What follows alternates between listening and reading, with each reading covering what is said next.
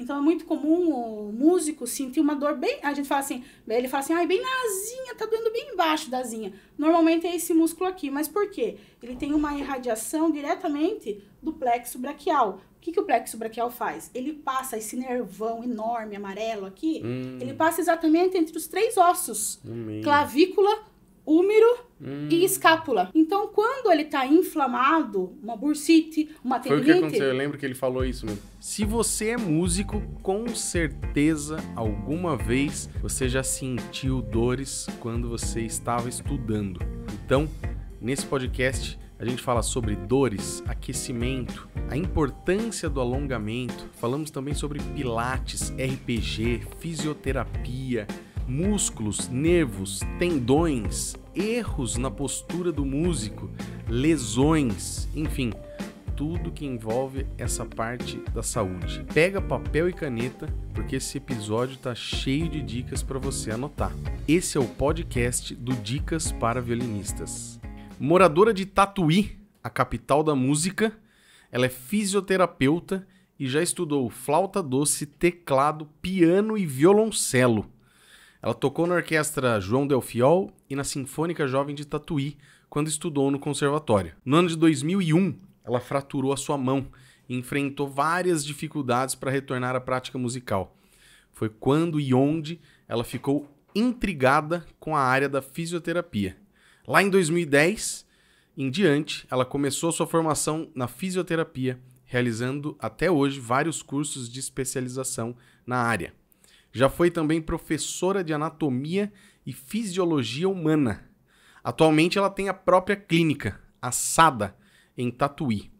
Casada com o violoncelista André Salum e mãe da Marina. Ela é investigadora de dores alheias, como ela mesma diz, e adora realizar trabalhos manuais. Ana Cláudia, que prazer ter você aqui. eu que agradeço.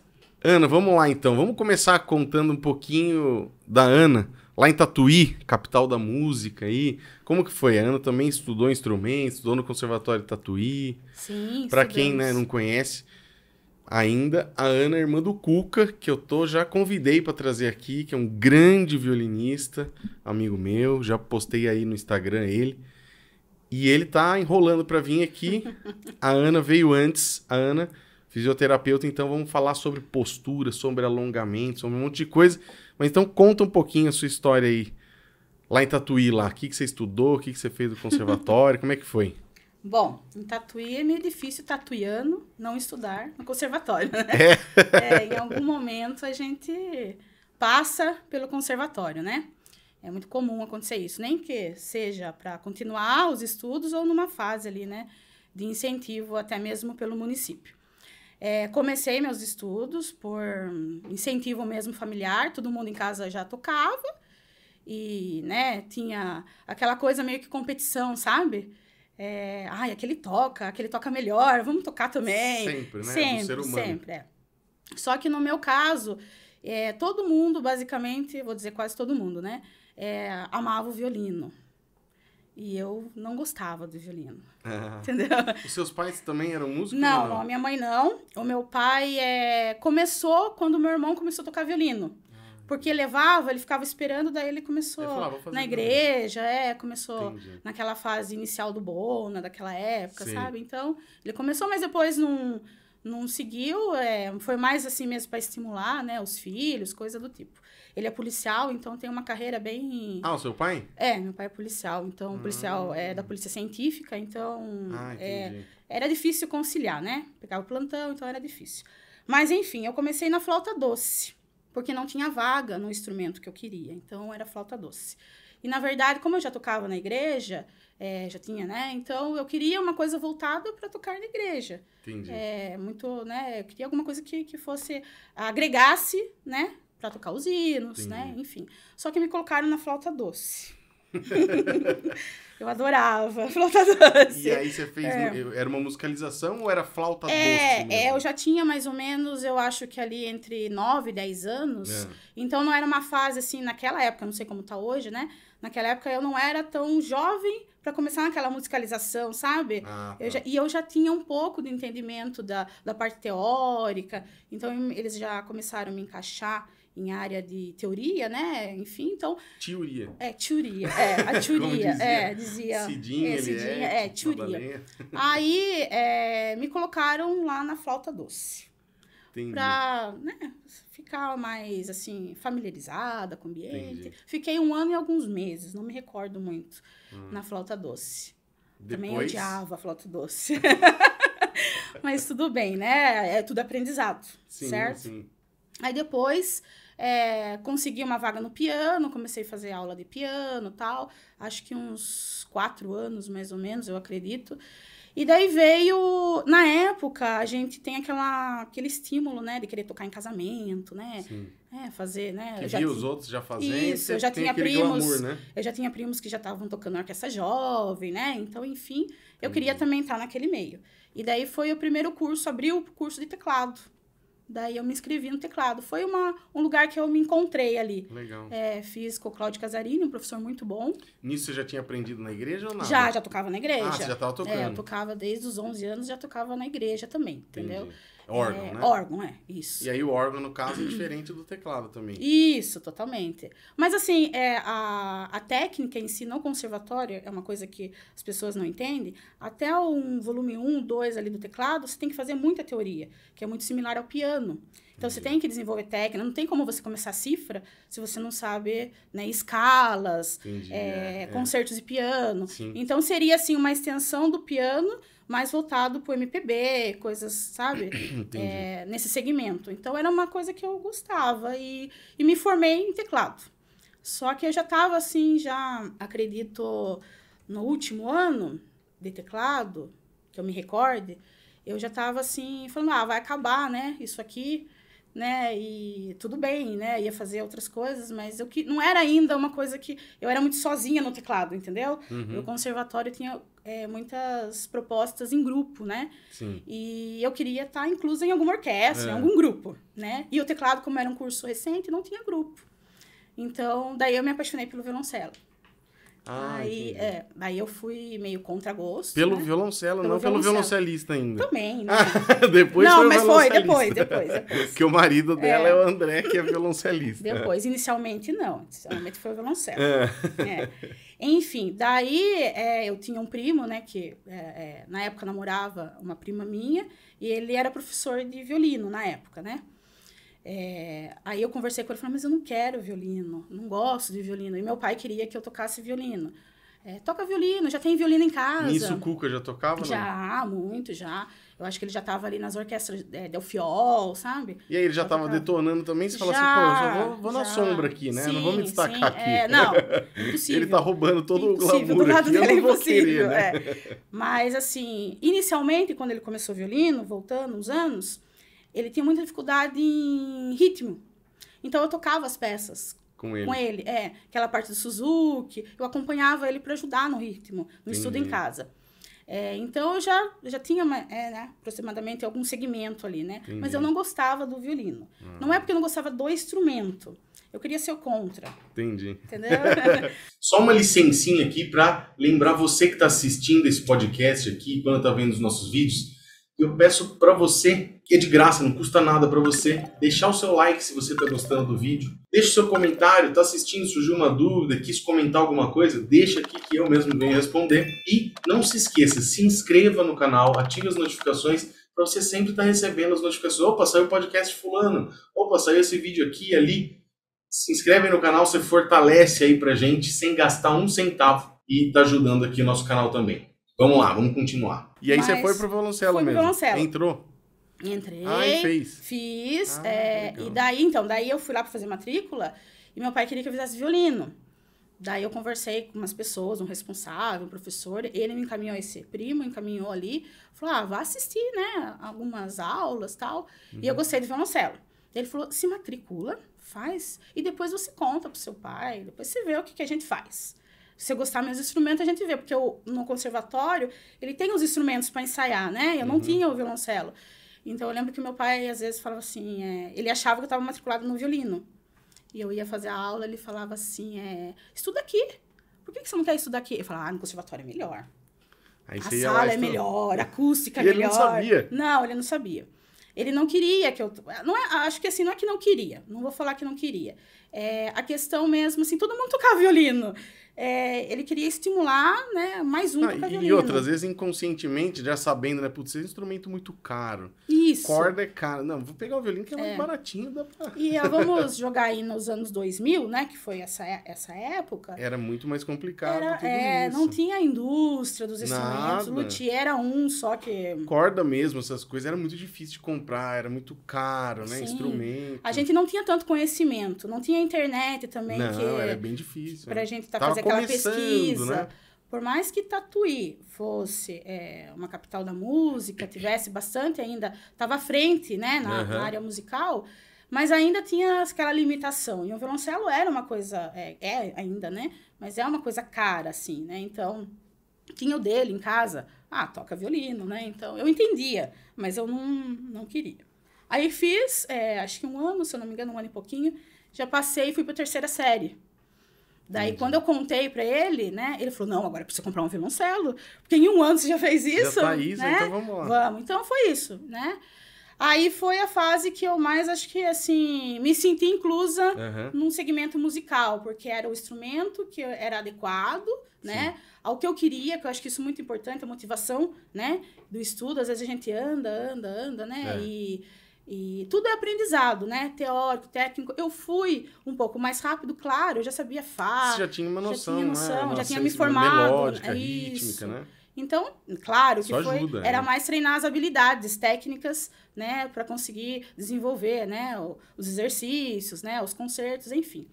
Então, eu me tava tava assim no meu na minha crescente, sabe? Eu tava uhum. me sentindo incluída naquele espaço familiar e também junto com os colegas, né? Que a gente Sim, acaba também... No ambiente é, lá de Tatuí. Top. Eu tava, tava me sentindo muito, muito acolhida por uhum. todos. E daí uma, aconteceu uma coisa trágica ou cômica ao mesmo tempo, não é. sei ainda dizer. Quebrei a minha mão. Putz. Sim. Eu falo cômica porque foi por uma coisa nada sério. Assim, foi em casa, Sério? assistindo um filme. Ah. Entendeu? É, levantando, sabe? Quando você apoia a mão e escapa, você faz esse, esse movimento assim de apoio e escapa a mão. Então, eu estava levantando, assistindo um filme com meu irmão, eu apoiei a mão e o dedo ficou. Então, eu tive uma entorse, assim, esse, essa mão aqui, o punho ficou e, e o dedo veio para cá, bateu aqui. Ai. Aí eu levantei, vi todas as escuridões possíveis, né? E, enfim, Nossa. segurei a minha mão, eu falo trágico e cômico, porque daí vem a parte cômica. Meu irmão estava super animado com o filme que estava assistindo, pulando, e ele conseguiu bater na minha mão. Sim. Aí veio a parte cômica, né? O Cuca ou o outro? O outro, mais novo. O Felipe. É, enfim. Na, nessa hora eu não sei se eu quebrei. se eu ruim. quebrei pela, pela queda ou pelo chute que ele que foi na minha mão, certo? Nossa. Mas enfim, foi trágico e cômico, Aí né? nisso você teve que parar dar um tempo. Aí parei. É, daí fui ver o que tinha acontecido. Ele fraturou é, bem distal, medial e na base, né? Então, em três pontos. Então, o terceiro dedo, né, para para parte anatômica. Segundo, para a posição dos instrumentos. Então, o segundo dedo, né, na parte musical, ele tem usa como base, né, para trocar posição. Bastante. Eu sofria muito, voltei assim, não conseguia. Fazia escalas, era assim muito trágico mesmo, eu sentia dores, eu sentia um, uma irradiação, né, um choque que a gente fala, né, que, eu, que os pacientes hoje relatam pra gente. Então, eu tinha essa sensação e dor, tendinite, enfim, todas as ites aí. Aí eu fiquei nesse segmento, acho que um ano, dois anos, entre fazer fisioterapia, parar, estudar. Aí a motivação.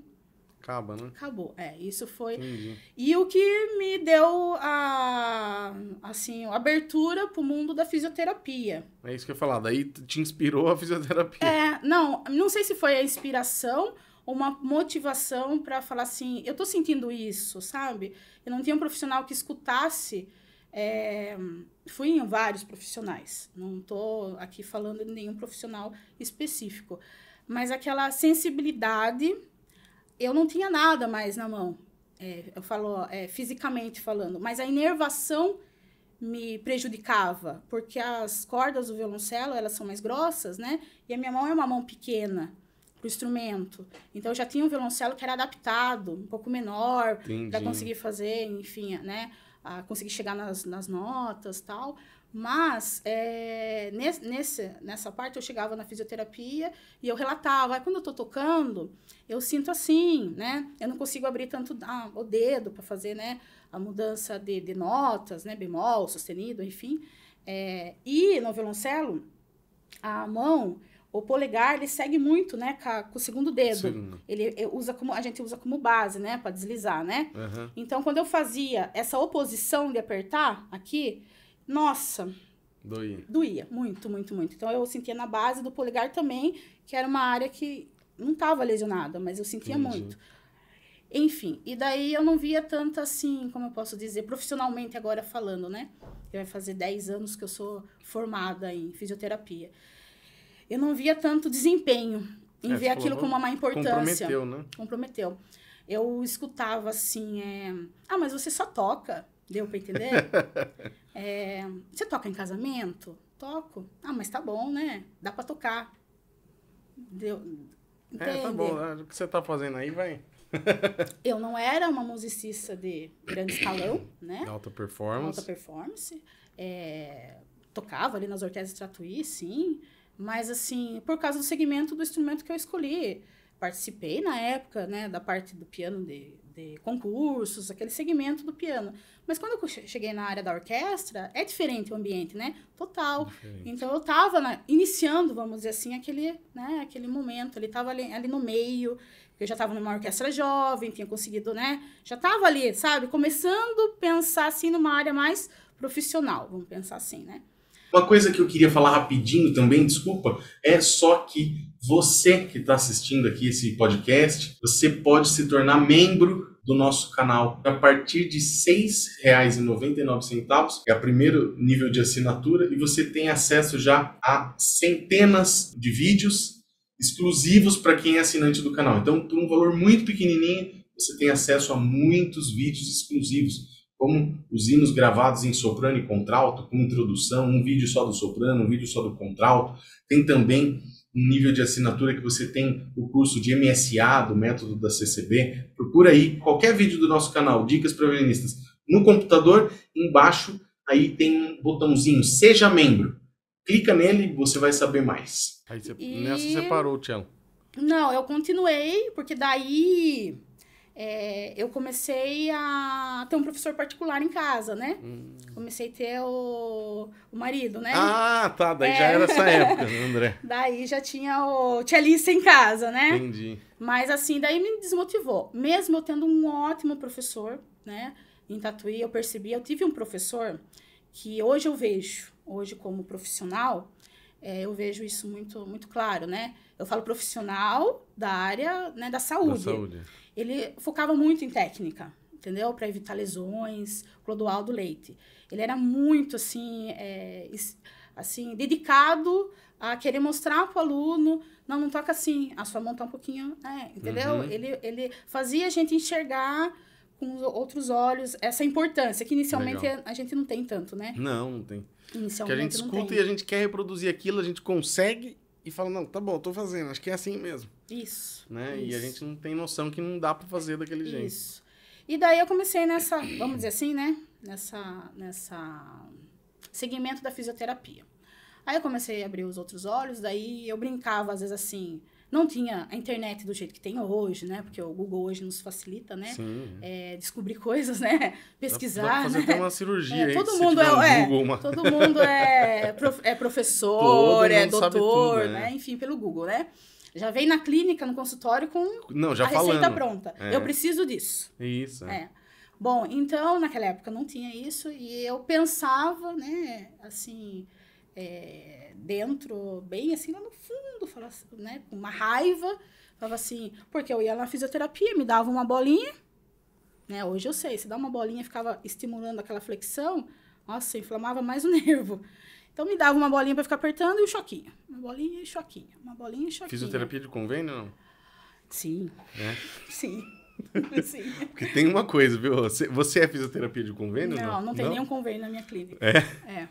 Já Não- trabalhei não, tô com convênio, falando do sim. profissional de fisioterapia. Sim, não é o profissional. Mas a fisioterapia de convênio, gente, eu acho que ela é feita pra manter o cara lá pro resto da vida. É, Por quê? Eu tive, como eu tava falando pra você aqui antes, né? Eu tive um problema no ombro e eu tive que fazer fisioterapia. E eu, depois, desde 2012, assim, 2011 pra cá, eu comecei a ser um cara muito, assim, disciplinado, saber, não, eu vou fazer, isso aqui tem que fazer?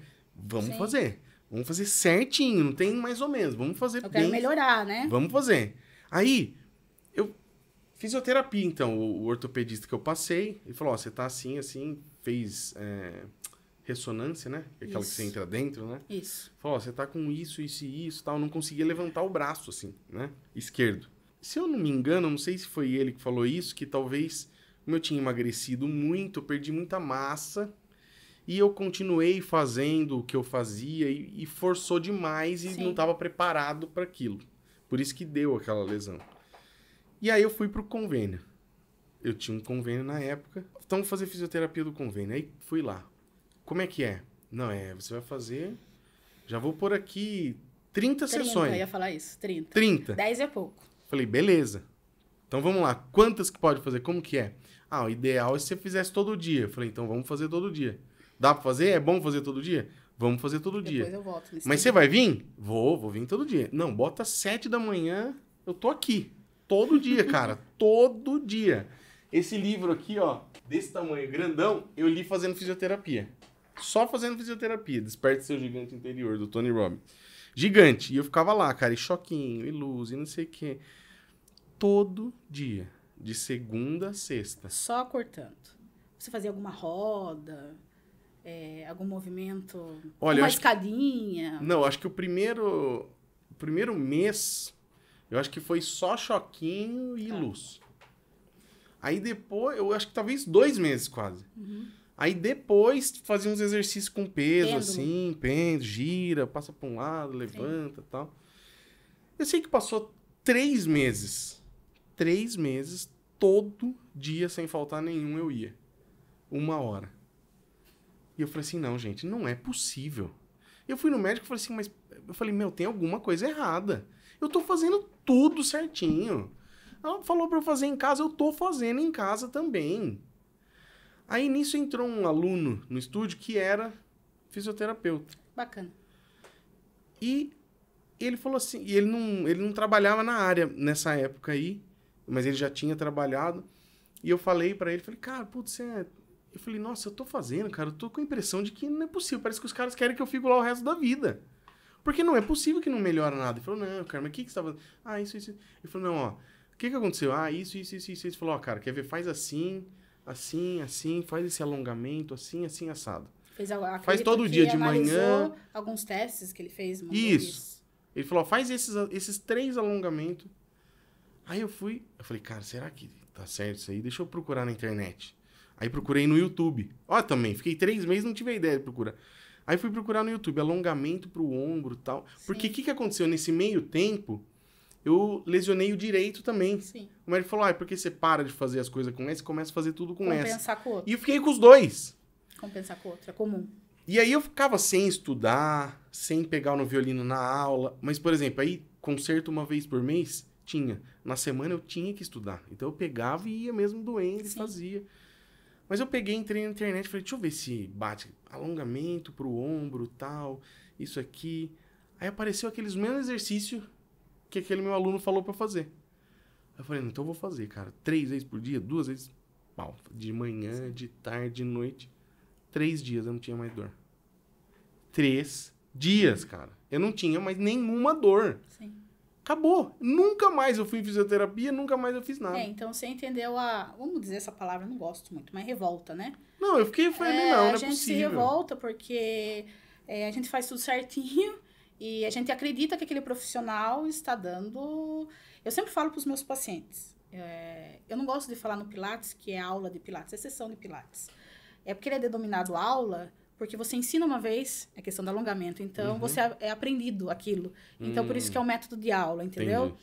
Mas eu não gosto de falar de aula, porque independente se você aprendeu o movimento, você vai chegar algum dia lesionado de alguma maneira. Talvez você andou na rua, torceu, teve uma entorse, né? Um tornozelo tal. E é comum acontecer, a pessoa fala assim: ah, eu não vou no Pilates hoje porque eu tive uma entorse. Não, daí que você tem que vir. Porque daí eu vou adaptar o movimento que você precisa para ver se como que é tá em torce, se você consegue fazer uma mobilização, se fazer um alongamento. Não vai ser a aula específica para a patologia que você veio recorrente. Uhum. Mas a gente se adapta porque a gente é um ser humano, um ser humano individual, entendeu? Então o que dá certo para mim talvez não dá para você. Sim. E tem coisas, claro, que no pacote vai dar para mim, para você, né, para mil pessoas. Mas você às vezes tem que pegar um lá e você fica assim, o que que essa pessoa tem? Porque eu já fiz de tudo. Aí entra profissional, motivação. Eu fiz isso, não deu certo. Eu fiz. Se você em uma semana você não viu a melhora do paciente, muda a coisa. estratégia, entendeu? Muda. Não, vou fazer uma adaptação assim. Será que é isso? E com dor é muito recorrente acontecer isso. É re- relatar uma patologia aqui, mas é uma dor é irradiada, é em outro lugar que a lesão, entendeu? Então isso é muito comum e aconteceu isso comigo. Me desmotivou, certo? Falei, ah, eu vou continuar fazendo as aulas em casa, né? Vou ver, porque eu sentava, o que você falou, sentava numa orquestra, ficava ali.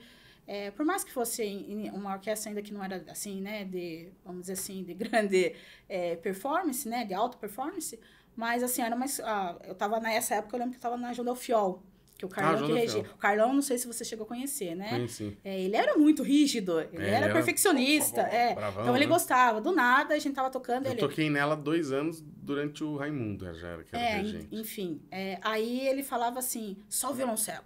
E ficava lá. Só o violoncelo, ou só o violino. Então ele, ele, ele, ele era bem rígido, né? Na técnica, ele, ele gostava, né? Ele era. é, todo mundo já sabia, né? Que ele era. era Desse ele era jeito. de- desse É. jeito, é. Então a gente já sabia. Mas enfim. é, então eu não conseguia. Às vezes eu tocava, ensaiava em casa, tava tocando, tinha aula. Eu lembro que eu tinha numa terça-feira ensaio, depois tinha terça ensaio à noite também. Aí a minha mão à noite não, não conseguia, sabe? Você ficava e, enfim. Nossa. Aí eu acho que assim, é, a motivação é tudo pra gente também. Tanto ela seja pro bem, Sim. ou seja pro mal, eu falo. Na raiva, o mal eu digo na raiva. E a minha motivação na fisioterapia foi isso. Entendeu? Uhum. Entendi. Eu falei, eu vou mostrar que eu vou conseguir arrumar minha mão Vou dar um jeito. pra eu mostrar pra todo mundo eu vou voltar a tocar. Que legal. Foi, foi isso, entendeu? Voltar a tocar do jeito que eu queria, imaginava, né? Né, na, minha, na minha cabeça, assim, numa, imaginava uma carreira profissional. Porque até então, né, adolescente ali, a gente não tem... na- tá só mexendo com música, a gente não tem uma outra visão. Que eu acho que também que... Eu assisto muito você, né, os profissionais que vêm aqui. O músico, ele acha que é só músico de orquestra, né?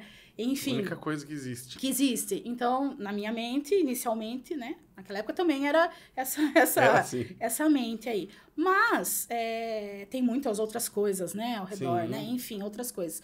E nessa época eu já ajudava, sempre ajudei em musicalização. Eu gostava muito da aula. Eu sou, tenho formação em Hum. pedagogia. Sou professora, né? Legal. Eu falo que, assim, de, de talento, eu sou professora de alguma coisa. Aonde eu, aonde eu estou, é, eu sou professora, né? Estou outra Tá coisa, sempre entendeu? ensinando alguma Isso. coisa. Legal, é. então, na época que eu tocava, eu ensinava algumas pessoas na igreja. Daí, quando em casa também, né, ensaiava com o irmão. Aí tinha professor que falava, ah, tem aquela aluna iniciante que tá começando, você vai na casa ajudar? Eu ia também, já ganhava, né, um, uns- um cachezinho ali, né, por Entendi. ajudar, enfim. No professor também, ele já ajudava como monitoria, sabe? Eu ficava, porque no Legal. conservatório acontecia isso, o pessoal ficava tocando em salas, né? Vai lá ver, acompanha, né, tal, tal aluno. Então, eu ficava ali com o meu professor também. Então, de alguma forma, eu sempre estive nessa, nessa no- nos bastidores da educação, vamos dizer assim, né? Legal. Musical. Então, eu comecei... Aí, eu, enfim, fui embora para São Paulo, né? Voltando a... Você a- foi estudar em São Paulo. Não, não. Você Daí eu físio em- casei. Ah, você eu casei, né? E você não tinha feito físio ainda? Não, ainda não. Ah, ainda não. Ainda não. Eu casei em 2003. Hum. Então foi essa fase 2002, 2003, foi acho acredito que foi em 2001 que eu para 2002 que eu fraturei a, a mão. É, que eu me recordo assim de, de, de mente, sabe? Que É. parecia uma eternidade aquilo, sinceramente. Parecia É. que eu fiquei 10 anos recuperando aquela mão, sabe? É, depois marca, que né? tirou, é, daí eu fui pra ver. Muita gente fala, ah, mas não foi, era cirúrgico e tal. Fui no médico, ele não orientou. Ele falou, aí essa questão. Ele falou, vai sensibilizar mais o nervo. Então, assim, você pode ter, é, sentir mais ainda, porque você tá fazendo movimento, tá com movimento bom, vai fortalecer, vai alongar, enfim, né? Só que eu não peguei um profissional que entendesse a importância da fisioterapia individualizada, com habilidade para o treino do instrumento. Hoje a gente tem muito jogador que treina habilidade. Você fala assim, ah, um jogador aí de né, Barcelona, vamos dizer assim, né? Esses grandes jogadores. Ele sai, mas uma semana ele se recuperou. É óbvio. Ele tem toda a equipe com Em cima ali, em cima, fazendo, com habilidade para isso.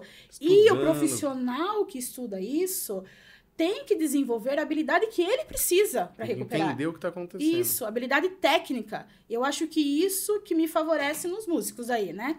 É, eu conheci a habilidade, eu tenho os dois lados. Fui musicista e tive uma lesão e pós, né?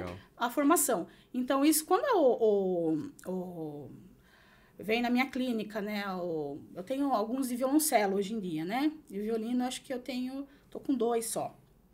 Acredito. É porque eles vão e O, vêm, And- né? o André vai pegando no pé dos alunos para estudar muito, aí ele se machuca e vem. né? Vocês estão fazendo um, um cartel lá. Olha, Faz o aluno, não, tem que estudar 12 horas por dia. Aí o aluno machuca e fala: Não, minha esposa é fisioterapeuta. vai lá, tal. conserta lá. Por é isso que só tem aluno de violoncelo. É, é, violoncelo, é, eu acho que vem, né, por, enfim, né, é, é, por conhecer mesmo, né, Uhum. conversa e tal, mas habilidade, é, eu pego na hora, eu já per- antes de me contar, eu já pergunto, que dia que você está sentando? Qual cadeira você está sentando? Você já pensou em pegar uma toalha, dobrar e colocar de algum segmento? Já olho a diferença anatômica. Todo mundo tem um lado maior, Tem. um lado menor, assimetrias que a gente Uhum. fala, né? O violoncelo é muito fácil, assim, ajustar. Fácil, falo entre aspas, né? Mas é sentado, então você Sentado. consegue na simetria da, do quadril, né? A gente olha na. A gente fala cristelíaca, que é o anatômico ali, entre a cintura, sabe? E Hum. o quadril.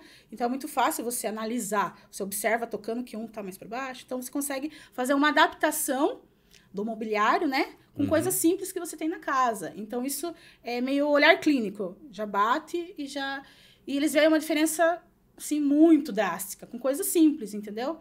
Então eu consigo ter. É, porque eu dou a importância que ele precisa no momento. E eu não tive isso no início. Então, voltando lá, eu, eu fui né, para São Paulo, fiquei. O meu marido fazia é, faculdade na Unesp, né? Então, eu estava ali finalizando, tocava lá em algumas orquestras. Eu tive uma, um tempo assim de, vamos dizer assim, de. Eu falo hibernação, brincando, né? Mas é, é bom isso daí, porque você acalma, né? Se acalma, Reflete. reflete, vê o que você quer fazer. Sim. Dei aula para algumas crianças ali de, de violoncelo mesmo, sabe? Legal. Enfim, familiar, ou uma, uma, um início de musicalização. Uhum. Mas daí eu fiquei grávida também. Então eu parei, eu tive um tempo. É, dei outras prioridades na minha vida, né? É, a minha filha, a maternidade, enfim. Sim. Aí eu tive um problema de saúde que me fez refletir um pouco mais. Um problema de saúde um pouco é, hormonal, um pouco severo, enfim. Fiz o tratamento, por isso que eu tive esse, esse momento também para refletir. E quando eu, eu tive esse momento, de, esse problema de saúde também, me interessou mais ainda a área de saúde. Porque a gente tá, né, é, comum, tá ali no, no âmbito... Aí que você foi pra. Aí, quando eu melhorei, eu falei assim, porque a gente faz propósito, eu acho que isso é importante na vida da gente, né? A gente tem que ter essa motivação e o bem-estar também. Eu quero ser algum, eu quero fazer alguma coisa que seja importante também para as pessoas. É, enfim, meu avô já tinha falecido de uma doença também, de câncer, enfim, e a gente acabou cuidando dele. Então a saúde ele começou a me abrir o, o- um olhar diferente, Despertou certo? Despertou coisa ali. não só da época da, vamos dizer assim, a raiva, depois veio o coração, entendeu? A emoção, né? Sim. É, falou mais E alto também. lado. Mas é... aí eu comecei a estudar. Daí eu voltei para Tatuí e fiz faculdade em Itu. Hum, Na CEUNSP. Daí eu fiz faculdade em Itu. Na minha cabeça, já em 2005, eu queria entrar no conservatório e ficar medindo todas as pessoas. Mas não tive, não tive pessoas que entraram na minha, na, na minha mente, Na ideia. na ideia, ou na maluquice, né? Que é, é difícil, né? A gente pensar que, na, que a gente tem uma visão e acha que tá tudo bem, né? Enfim, que todo mundo tá entendendo aquilo, né? Enfim. Hoje em dia eu vejo que muitas pessoas estão afim disso daí, né? Conversando, falam, nossa, você está falando faz todo sentido, mas eu em 2005 já, já, já era uma percussora nesse segmento. Só não era ouvida de uma maneira, talvez, né, vamos dizer assim, técnica, né? É, as pessoas talvez não davam tanto credo, né, uhum. para aquela aquela, aquela visão que a gente tinha do, do, do músico em si. Mas, enfim, aí eu fui me, me aperfeiçoando, fui fazendo, né, outras coisas, me formei, é, e aí veio a parte clínica, né? Enfim, trabalhei na educação, também fiz pedagogia, daí, aí eu fiz pedagogia depois, porque eu descobri que eu adorava dar aula de anatomia, entendeu? Hum, Trabalhava numa escola técnica de saúde, que dava aula para radiologia, enfermagem, enfim. Legal. E ia para estágio com os alunos, então fiquei numa fase assim, mais ou menos uns cinco anos trabalhando nessa escola. E daí a área da educação também, entendeu que sempre vem, né, junto, Legal. a área da educação também veio. Então, ali no município tal. Então, eu comecei a. E depois, trabalhei em vários segmentos, em Tatuí, na PAI de Tatuí, com criança especial, né? Que portadoras de alguma deficiência, né? De alguma forma, né? Tanto visual quanto é, hoje em dia lá também tem muito um, o aspecto autista, né? Enfim, então isso é bacana porque eles na educação você estimular o sensorial faz é, muito bem, né? faz ajuda muito bem. Muito, a né? música ajuda muito ajuda. isso, a musicalização, né? De uma forma geral também Legal. ajuda. Enfim, daí eu comecei a. Depois aí eu, eu fiquei né, é, um tempo e comecei a clinicar novamente, vamos dizer assim e comecei a aperfeiçoar várias, várias coisas voltadas basicamente a vários segmentos. Na, na clínica hoje que eu trabalho, eu tenho dois, dois estágios. Eu acho que domiciliar e área mais é mais idoso, sabe? Mais tem atendimento mais voltado a outros segmentos. Entendi. Mas na clínica, eu vou falar, é, se não 100%, vamos dizer 99,9%, hum, dor. Dor de alguma Dor de alguma coisa. E dor por N, N motivos, né? Mas você observa a dor num segmento, tanto aquela pessoa que não é, não é musicista, nada, uma senhora, dona de casa, né? Que ali sempre cuidou dos filhos, também tem a dor na, na, na coluna. E essas dores nunca aparecem quando a gente é muito novinho, né? Difícil. difícil. Aparece, mas é difícil, difícil. né? Difícil. Aí entra a nossa parte Aí acadêmica. quando vai aparecer já tá lá na frente e aí já... Isso. Passou é, você tempo. comenta muito sobre, eu vou usar, porque você, é, você tem umas falas que eu acho que é uma visão, porque eu também já estive nesse lado, né? Então, você está falando do músico de orquestra, eu vou avisar no segmento que a gente está falando uhum. aqui, né? Que é o músico. Vou puxar para esse lado, é óbvio. É, a gente observa assim, você muito fala assim, qual foi a primeira vez que você percebeu que você era profissional? É, que você foi profissional, é. Você é, virou profissional. Virou profissional, isso. Eu falo que a partir do momento que você pegou no instrumento, você é profissional. Fisicamente falando, anatomicamente falando. Entendi. Entendeu? Essa, essa, essa, é a visão. Entendi. Porque profissional, daí na minha visão de saúde, de fisioterapeuta, né? É, não é porque você ganhou um dinheiro ou outro. Entendeu? Uhum. Não é porque você está ganhando um cachê, porque não, é. agora é. eu tô sendo. Não, você. Você está fazendo você tá aquilo. fazendo repetitivamente isso. É. Um jogador, vamos usar jogador de futebol, que é, no Brasil é fácil de explicar, né? Comparar. É, o cara não virou jogador de futebol ali do nada. Ele lá, o pai colocou numa escolinha, jogava no condomínio, jogava no clube, né? Ali, final de semana. Então, em que momento que ele percebeu? Desde lá. Ele foi treinado desde lá. Tanto na rua quanto é, no treino, é. em algum clube, entendeu? Então, o músico tem que começar a ter essa percepção. Inicialmente, talvez os pais. Porque enquanto a gente tem um estirão, a gente fala ali do crescimento, entre tem uma, uma, uma faixa de, de 7 a 8 anos, até 10, né? Que ainda a gente tem muito colágeno na estrutura óssea. Hum. Muita produção de colágeno o osso ainda tem, é moldável, vamos dizer assim, entendeu? Entendi. A parte compacta dele, a parte das epífises de crescimento, ela ainda tem deposi de, deposição de colágeno ali, não é só o cálcio, enfim, tem a deposição de colágeno. E na parte estrutura também, do interior do osso também. Então, a gente consegue moldar facilmente isso. Se ele tem uma escoliose ou algo que já é instalado por algum motivo, vamos dizer assim, é estrutural voltado ou uma patologia genética que nasceu porque às vezes acontece, é, escola acontece muito isso hoje por causa da tecnologia, né? Muita posição em flexão, né? Uhum. Cervical, né? A gente fica muito aqui, Celular. né? Celular, isso.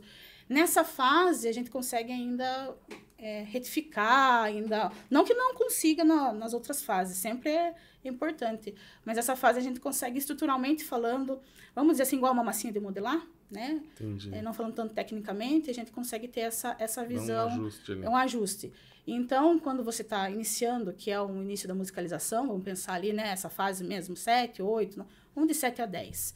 É uma fase que você consegue, mesmo que a criança não saiba o que ela está fazendo inicialmente, você tem que ter olhar como professor. Você, o profissional, tem que observar e a instrução é, é muito boa. E tem que instruir os pais, porque a pessoa, às vezes, às vezes o pai não vê, não vê a importância, como você falou, aí Sim. é caro Os pais e, e acho que também os professores, né? também. Quem tá ensinando, né? Sim, Que é uma coisa que eu pego muito, assim, no pé dos meus alunos, sempre que eu tô começando a ensinar.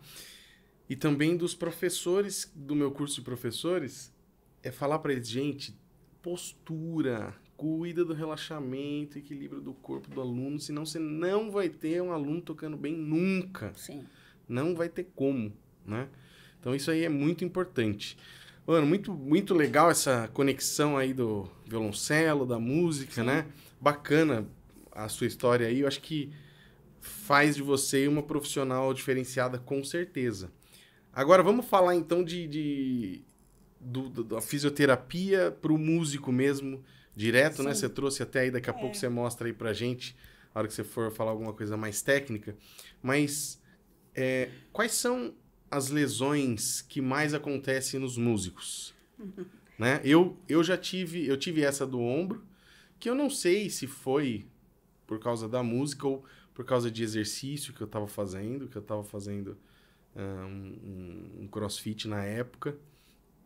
E, mas também junto eu tava numa época de tocar muito, que, de fim de ano, que Comum. tinha muito concerto, muita coisa para estudar, muita coisa. Sim. Então não sei se que foi que machucou de verdade ou se foi tudo junto, né? Mas eu machuquei o ombro, que eu acho que é uma coisa que acontece. E uma vez, lá em Tatuí, eu tive uma lesão também que me demorou para para eu voltar. Eu não fiz fisioterapia, eu só tomei remédio, que foi uma tendinite aqui. Do braquio radial? Agora eu não sei esses nomes, mas era aqui, ó. A minha dor era aqui, ó, nessa é, parte. esse músculo braquio radial. Né? Essa aqui que faz É, isso aqui, ó, é né? pronação e supinação, é responsável por Quando mexe os dedos assim. Isso, né? é. Basicamente, ele faz a pronação e a supinação, essa rotação, né? Ah, E daí, você vai ver depois o modelo anatômico que todos estão interligados na flexão, né? Na, é fechar a mão e abrir a mão, vamos dizer assim. entendi. Então, só que tem esse movimento da rotação. É, normalmente é esse E músculo. eu, eu lembro que o ortopedista que eu fui, ele falou, mas o que, que você fez? Tal? Eu falei, não, eu fiz isso. Por que que aconteceu, né? Antes de chegar no ortopedista. Eu fui no festival que tava tendo lá em Tatuí, em julho. E se não me engano, acho que era a primeira vez que tava tendo um E festival era lá. ótimo os festivais, né? 2007 foi. Sim. no, no ano que eu ia casar. E aí eu fui em julho lá e eu até ia dormir lá. Dormi lá, fiquei uma semana lá. E quem tava dando aula era o Luiz Amato, da Unesp, se não me engano, de violino. E, cara, fiz aula com ele e a gente se deu muito bem ali. Ele falou, cara, cara, tá faltando isso aqui, ó, pra você. Faz o seguinte, ó, tá aqui, ó, esse livro aqui, vou te emprestar o meu livro. Leva lá, estuda isso aqui, essa lição. E acho que, eu não me lembro se era o Sevesic. Lá, si, do, si, lá, si, do, si, lá, si, do, si, lá, si, do, si, lá, si, do, si, lá, si, do, si, lá, si, do, si, É, o músculo lá, ó. E ficava repetindo, né? E eu achei aquilo tão da hora, porque eu fiz um pouco e daqui a pouco eu já senti uma melhora na minha digitação, na minha... Falei, cara, isso aqui é demais. Aí eu, pá, fui pro alojamento e fiquei. Eu acho que eu fiquei mais ou menos uma hora, uma hora e meia, fazendo aqueles exercícios de repetindo. Beleza. Fui dormir. No outro dia tinha ensaio da orquestra. Quando eu fui, que eu cheguei assim, eu não conseguia mexer os dedos assim, que doía. Eu falei, nossa, cara, o que que aconteceu? Eu machuquei, eu tinha aula depois. Aí eu fui na aula e ele falou assim, eu falei, professor, eu não vou conseguir, eu não tô conseguindo tocar, não sei. mas o que aconteceu, cara? Eu falei, não, fiz, não fiz nada, fiz aqueles exercícios que. Mas, cara, mas quanto tempo que você fez? Eu falei, você acha que eu fiz uma hora e meia? Ele falou, meu Deus do céu! Ele falou, era pra fazer 10 minutos só, cara. Isso daí Você é se empolgou, muito. se É muito, não pode, você machucou, cara. Vai no médico, para. Para, não faz mais nada. Vai embora pra sua casa. Vai no médico porque você se machucou. E aí eu fui e ele me explicou. O médico, na época, o ortopedista, falou assim: olha, aqui você, quando faz isso, né? O que ele me explicou na época. O tendão, o que, que é a tendinite? Ele falou pra mim. É um, um- uma capa que envolve aqui. Isso. E aí, quando você faz isso daqui, ó, ela estica e ela fica raspando. Isso. E aí você ficou fazendo muito. Isso daí inflamou essa capa. E agora é isso que tá acontecendo. Aí eu, ah, tá bom então. e fiquei sem tocar mesmo, assim, fiquei um tempo. E até depois eu fiquei. E doía bastante mesmo. E até depois, assim, eu falava assim, ai, putz, eu acho que tá voltando. Meses depois eu falo assim, puta merda, acho que vai voltar, cara. Eu pegava o remédio e tomava o remédio que ele tinha passado naquela Sim. época com medo, né? Então essas foram as duas que, tive, que eu tive por causa da música. Sim. Quais são as mais comuns? É, ombro é recorde. Ombro. Tanto aqui no Brasil, é que o Brasil tem poucos estudos ainda. Tem, tá aumentando, né? Mas É. ainda poucos comparado aos Estados Unidos, que pela educação musical mesmo lá, né? Enfim, lá eles, eles fazem mais pesquisas e tem a inclusão da música nas escolas, acabam vendo isso de um aspecto bem amplo. É, ombro, é, envolvendo escápula. Escápula ali é o ranking A de... escápula é essa. É o ossinho ali, a gente, é os pacientes falam asa. asa, é asa, isso. Popularmente falando a asa. Quem, quem é mais magrinho, bota a mão assim e dá aquela. É isso, é ombro. Aí, em algum, tô falando do- dos músicos de corda, né, propriamente dito. É, a, daí a mão envolve também, é um pouco, mas mais piano, né, enfim. A mão tem umas ites, a gente brinca, né? As ites, a tendinite, enfim. É, mas dependendo de, de alguma, às vezes, alteração até mesmo anatômica sua. Eu falo alteração anatômica assim, que nem no meu caso. Uma fratura que foi recorrente, uma torção. Tem pessoas que é, forçam muito, é, tra- en- enfim, trabalham com, como você falou, né? Trabalham com uma mão, faz alguma coisa, escreve, enfim, Faz daí muito, é, né? a mão tem também, mas o recorde é ombro. Por que o Uhum. ombro? Porque o ombro, além de ser uma estrutura, é, vamos dizer assim, instável, ela é a junção de três ossos, certo? Então, se você não tem uma lesão anterior aqui na- nessa. na- o pessoal fala saboneteira, né? Os Aham, antigos. sim. Mas a clavícula, né? Uhum. É, se você não tem aqui uma alteração aqui, porque esse osso ele ajuda a estabilizar o músculo que ajuda na abertura, no fechamento do braço, certo? Entendi. Até a flexão também, ele dá uma leve envolvida, mas ele está ali estabilizando, ok? Aqui, assim, né, no pescoço. E daí o úmero, né, que é o osso mais longo aqui que a gente tem, Esse isso, esse aqui, ele, ele estabiliza junto com a clavícula, ele encosta ali, eles se encostam. E a escápula, ela faz isso aqui, ó, o úmero deslizar. Ah, Então, por isso que eu tô falando, ele é deslizante. Então, no seu caso, vou usar você como exemplo. Você perdeu massa muscular, enfim, densidade. O osso ficou mais, né, ali mais próximo um do Mais outro. fácil de- Mais fácil de de encostar. acontecer. Se você tá com uma frouxidão ligamentar, que ocorre muito no ombro também, porque tem que ter essa frouxidão para você conseguir ter mobilidade, é óbvio, né? Mas se você faz um esforço, não descansa. Um esforço. Eu falo esforço assim, além de lesão, além de uma atividade sem orientação, porque todo mundo que começa a fazer atividade quer achar o máximo e fazer atividade Tudo num dia só. tudo num dia só. Isso. E daí você não tem. O descanso é importante. Descanso entendeu? é O descanso é importante. O que a pessoa não entende é isso. Ah, você fazer. Vou voltar um pouquinho só. A fisioterapia todo dia. Não é recomendado fazer todo é. dia, entendeu? Uma média bacana é três vezes por semana. A não ser coisas neurológicas, vamos tirar Sim, é, afecções neurológicas, que Uhum. daí tem a coisa de aprendizado, TO, é, é, apre- aprender o movimento novamente, por exemplo, como pegar numa colher, enfim. Isso Uhum. daí é igual escola, tem que aprender todo dia um pouquinho, sabe? Para o cérebro fazer as novas adaptações, enfim. Aprender de novo o movimento. Mas no caso, vamos dizer assim, ortopédica, né? é, isso precisa do descanso é importante. Então, o ombro é um recorde, sabe? É, até a gente estava conversando antes, né, um pouquinho. é, nos primeiros, no início do, do estudo, é, nas primeiras fases ali, é muito. Vou colocar o violino, né? É muito, muito esquerdo, lado esquerdo. Uhum. Porque ali é novo, né? É uma área ainda que você, que você estimula mais do que o arco. E Vamos às vezes o cara nisso. não aprende a segurar direito e segura com o ombro. Sim, encosta o Faz cotovelo. isso aqui, né? Para segurar o violino. Isso. E aí fica Dobra o forçando, né? pescoço. Sim. Põe o pescoço pra frente. Isso. Imagine, você tá aqui, sentado, né? Igual a gente tá aqui. E de repente coloca uma coisa aqui que você tem que fazer assim, fazer assim. Não é anatomicamente Não, falando não é natural, funcional, né? natural. É. não é natural você Não. ficar torcendo o braço pra cá, né? Não, não é. Então, assim, nas primeiras fases de estudo ali, é, é esquerdo. É recorde. Vamos colocar, né? Clinicamente falando, daí a pessoa vem com é, ombro, né? Porque fica muito em isometria. Fica, imagine você ficar carregando uma caixa o dia Uhum. todo, né? Então fica muito isometria ali. Você começa a sofrer uma adaptação, se encaixar. Às vezes dói um pouquinho até a parte da lombar aqui do mesmo lado, que a pessoa fica, sabe, tentando Forçando. forçando, enfim. É, posteriormente, como você próprio diz, eu começo a forçar muito um lado, eu tento compensar o outro. Outro. Mas posteriormente a pessoa começa a treinar arcos também, começa a pegar o direito. Então, hoje em dia, clinicamente, é, o músico de alta performance é, é mais, clinicamente falando, tem as exceções, sempre, como eu falei, né? Você não pode, Deus me livre aqui, né, falar e a pessoa, não, eu tenho assim, que o pessoal gosta de se comparar, né? Dor é uma competição. É. Mas, enfim, numa forma geral, lado direito, Aham. é, aí o lado direito entra um pouquinho o músculo que você falou, que é o bráquio radial.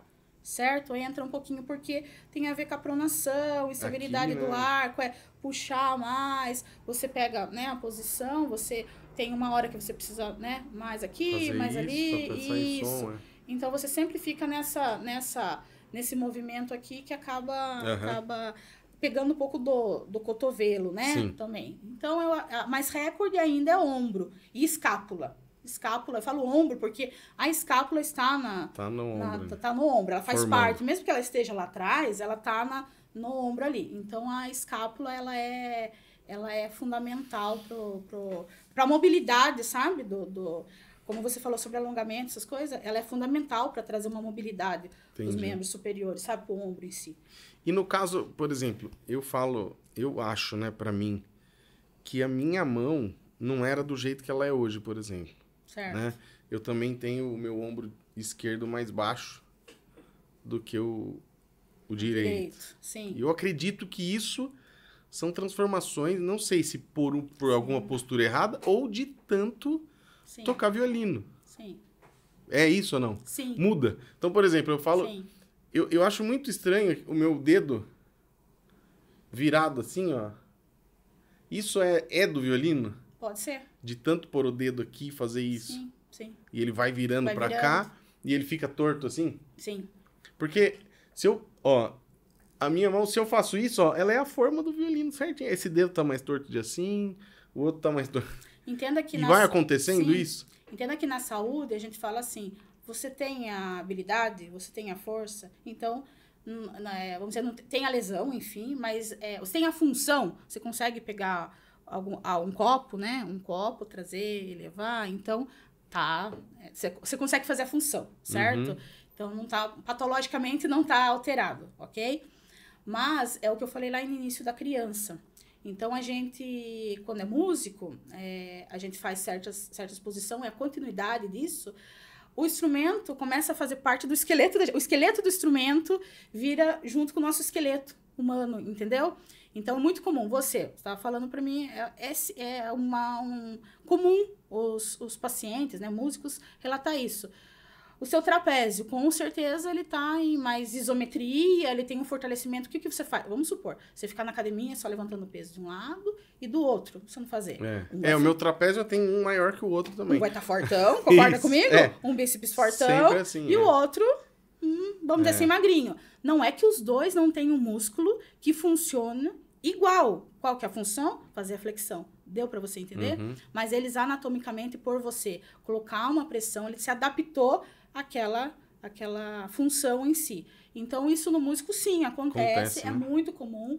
É, é, violinistas, você pode fazer uma... Isso faz mal? Não, não faz mal. Vai ficar. si. Porque eu imagino, eu fico pensando, eu não, falo, não. cara, cada vez que for ficando mais velho, vai ficando mais torto, eu acho, a minha mão, vai. tá a mão. Não, não precisa ficar, não precisa ficar com medo, né? Se não é o mal. Eu acho que tem um equilíbrio aí bem, bem distante dentro É. dessa. É. A única coisa que eu falo é assim, é, a dor. É, a dor é um alerta, certo? A gente começa. A, a primeira coisa é a dor. Às vezes a pessoa fala o que você falou, ah, eu tava com uma dor, já tomei anti-inflamatório, já tomei. Gente, a dor é um alerta para você pesquisar o que, que É tá acontecendo. Isso, é um alerta. Daí normalmente tem o calor, né? Rubor, enfim, as outras. As outras. é, Os outros sinais e inflamações que vão vindo na articulação. Sim. Eu acho que quando vem a dor, né, o, o quadro álgico, daí é um alerta pra você falar, opa, alguma coisa tá, não tá funcionando bem, certo? Uhum. Porque senão a pessoa começa também a ver um monte de problema, aí eu tenho isso, eu tenho aquilo, né, enfim, não é bem assim também. Senão daí você para de, de pensar daí na, na- Você começa a tocar e daí você para, em vez de você pensar em progredir no estudo, você vai começar a ficar pensando mais, aí o meu dedo tá assim... Foca blá- no Aí problema. não adianta, porque a música chega em algum momento que você tem que, né, esquecer, Uhum. Sim, né, é. se incluir, né, a emoção, né. Vai conectado é, ali com aquilo isso, que tá sim. acontecendo. Ser uma coisa assim como se piscar, você não percebe que você tá piscando. Sim. Uma coisa assim automática, né? Aham. Não, mas a clavícula a gente observa muito em violino, que é esse ossinho aqui, É, né, né? que a gente tem aqui na frente. Sim. Ele tem alguns que tem um abalamento, sabe? Assim, é uma depressãozinha. É. É muito comum um violinista muito novo começa. A outra clavícula é assim, bem alinhadinha, vamos E dizer assim. outra vai e a outra, isso. O violoncelo é muito comum também o, no início, a pessoa tocar com o cotovelo próximo. Não faz aquela abertura, assim, Uhum, sabe? tocar aqui. O cotovelo fica assim. Então é comum, às vezes, dar uma escoliose recorrente. Hum. Entendeu? Porque você faz isso daqui e começa, né? Posicionamento, né? Começa a se adaptar, dar uma rodadinha, né? Então, meninas, às vezes, é mais fácil de ver violoncelistas é, feministas e mulheres, né? Porque é por causa da anatomia mesmo, o arco, até depois, numa fase da puberdade do seio, você começa a ver a linha se descolando, assim, Entendi. sabe? Então, é quando vai crescendo, você começa a ver. Mas ainda ombro é recorde, sabe? Entendi. Ombro, ombro é, é, é o nosso recorde. E aquecimento, né? Porque eu pergunto assim, porque o pessoal fala: você não faz aquecimento? Cara, agora. Daí, essa vez, inclusive, que eu tive essa lesão, essa tendinite aqui, ele falou: pô, você. Você trabalha com isso? Eu falei: trabalho. Ele falou: você não faz aquecimento, cara? Eu falei: não faço. Nunca fiz. E eu já vinha de épocas anteriores de estudar 5, 6 horas por dia, muito, né? E, e não fazia alongamento, né? Depois ele falou, não, mas faz, cara, quando você vai pegar muito tempo, faz um alongamento assim, assim, assado, passou pra mim, deu uma folha, explicou, esses alongamentos, por que que você faz? Ah, eu faço assim, esse movimento. Falou, não, então faz esse, esse, esse alongamento, né? E eu fiz, né? Eu acho que me ajudou muito. Mas, por exemplo, os meus alunos, eu não fico passando alongamento porque lá a gente não tem. é, a gente não forma profissionais Sim. no estúdio. Então, os alunos nossos, eles estudam 5, 10, 20 minutos, meia horinha, vai, né? Quando a gente tem algum aluno que ele tá estudando mais tempo, mais do que isso, mais do que 20, 30 minutos, mais do que isso, aí a gente orienta, fala assim, olha, é melhor você fazer um alongamentinho assim, começa por aqui, por esse exercício de levinho, não vai já para aquelas repetições, tanto você vai ter que fazer, né? Porque eu penso isso. Se for só um estudo rapidinho, eu acho que não precisa de alongamento. Com certeza você vai falar, não, precisa. Não precisa. precisa, né? Não precisa. Mas assim, não quer dizer que a pessoa vá se machucar Não, não. só porque ela não fez. Isso. Agora, se ela vai estudar 40 minutos, uma hora e várias vezes, daí provavelmente vai acontecer. Então, daí eu, eu vou voltar ao seu segmento, que você está me explicando. Aham. Você tem essa visão, muito bacana isso, daí a gente entra no debate. muito bacana. Você está um segmento ali no estudo, né, né? No estudo, ah, naquele momento, ok? Vou, agora eu vou trocar, eu vou entrevistar você. É, qual é o profissional? Por exemplo, você tem um senhor já? Vamos pegar um senhor, não vou pegar criança, a gente tá falando muito criança. É, um senhor, Tem, tem. toca só na igreja. Tem, ele quer tem. aprender para tocar na igreja. Uhum. Isso, então vamos colocar nesse segmento também. Qual é a profissão dele? É, não, não sei. Muito Entendi. interessante fazer isso. Vamos supor, eu vou colocar, só vou jogar, certo? Uma é um hipótese. pintor. Entendi. Às vezes ele ficou o dia inteiro fazendo o quê? Colocando em estresse o ombro dele. E a cervical junto, porque ele ficou E aí ele vai estudar só 10 minutinhos, 10 mas. minutos. Mas aquele 10 minutos dele não é o 10 minutos, o aquecimento dele não é os 10 minutos, ele ficou o dia inteiro. Deu pra Entendi. entender? Aí entra, porque daí ele tá fazendo uma coisa global, uma coisa mais grossa, uma, uma manipulação, né? Mais ampla, que a gente Uhum. fala, né? Na, na anatomia e tal, movimento, mais, movimento amplo, certo? Mas a hora que ele chega ali no violino, ele tem que fazer um mais fino, mais delicado, isometria diferente. Sabe aquela coisa de pegar e não conseguir ter a força, dosar a força, Uhum. enfim. E ele tem que fazer uma isometria diferente para ele conseguir colocar na corda tal. E se ele chegar com isso daí, possivelmente, só tô pensando no dedo, não tô falando em ombro, porque ele já tá fazendo manipulação global. Então não vou colocar o ombro dele, porque o ombro dele ele já faz todo dia algum movimento repetitivo, concorda comigo? Então vamos pegar só os dedos ali. Dependendo da isometria que ele faz, cotovelo, isometria, eu falo, fica mantendo o músculo. Quando a gente faz jeito. movimentos, é isotônico que a gente fala, sabe? Contração, relaxamento. Contraiu, relaxou. Contraiu, ó, contraiu, relaxou. Ah, Contraiu. tá. Então, isometria eu fiquei que nem um Parado vibrato. ali. Entendi. Fiquei na isometria. Então, o músculo ficou sendo, sendo é, estressado, vamos dizer assim, muito tempo, mantendo aquela, aquela força. Hum. É, quando ele faz isso, possivelmente ele vai ter uma lesão do carpo, do túnel do carpo. Então, o aquecimento, o que, que a gente faz? É, é aquecimento versus alongamento, ok? Entendi isso. Então, o aquecimento é diferente, duas coisas é, separadas. É, o aquecimento você pode ser uma coisa que você. Ah, vou usar esse termo banal, entendeu? É só pra. Uma escala seria um aquecimento, mas você não pega uma escala, sabe? Uma- até mesmo uma corda solta de arco, e daí você coloca o primeiro dedo, volta, o segundo dedo, sabe assim? Sabe? Uhum, uma coisa só de, bem trein- levinha só de treinar. Um, dois, três, quatro. Sim. Voltou.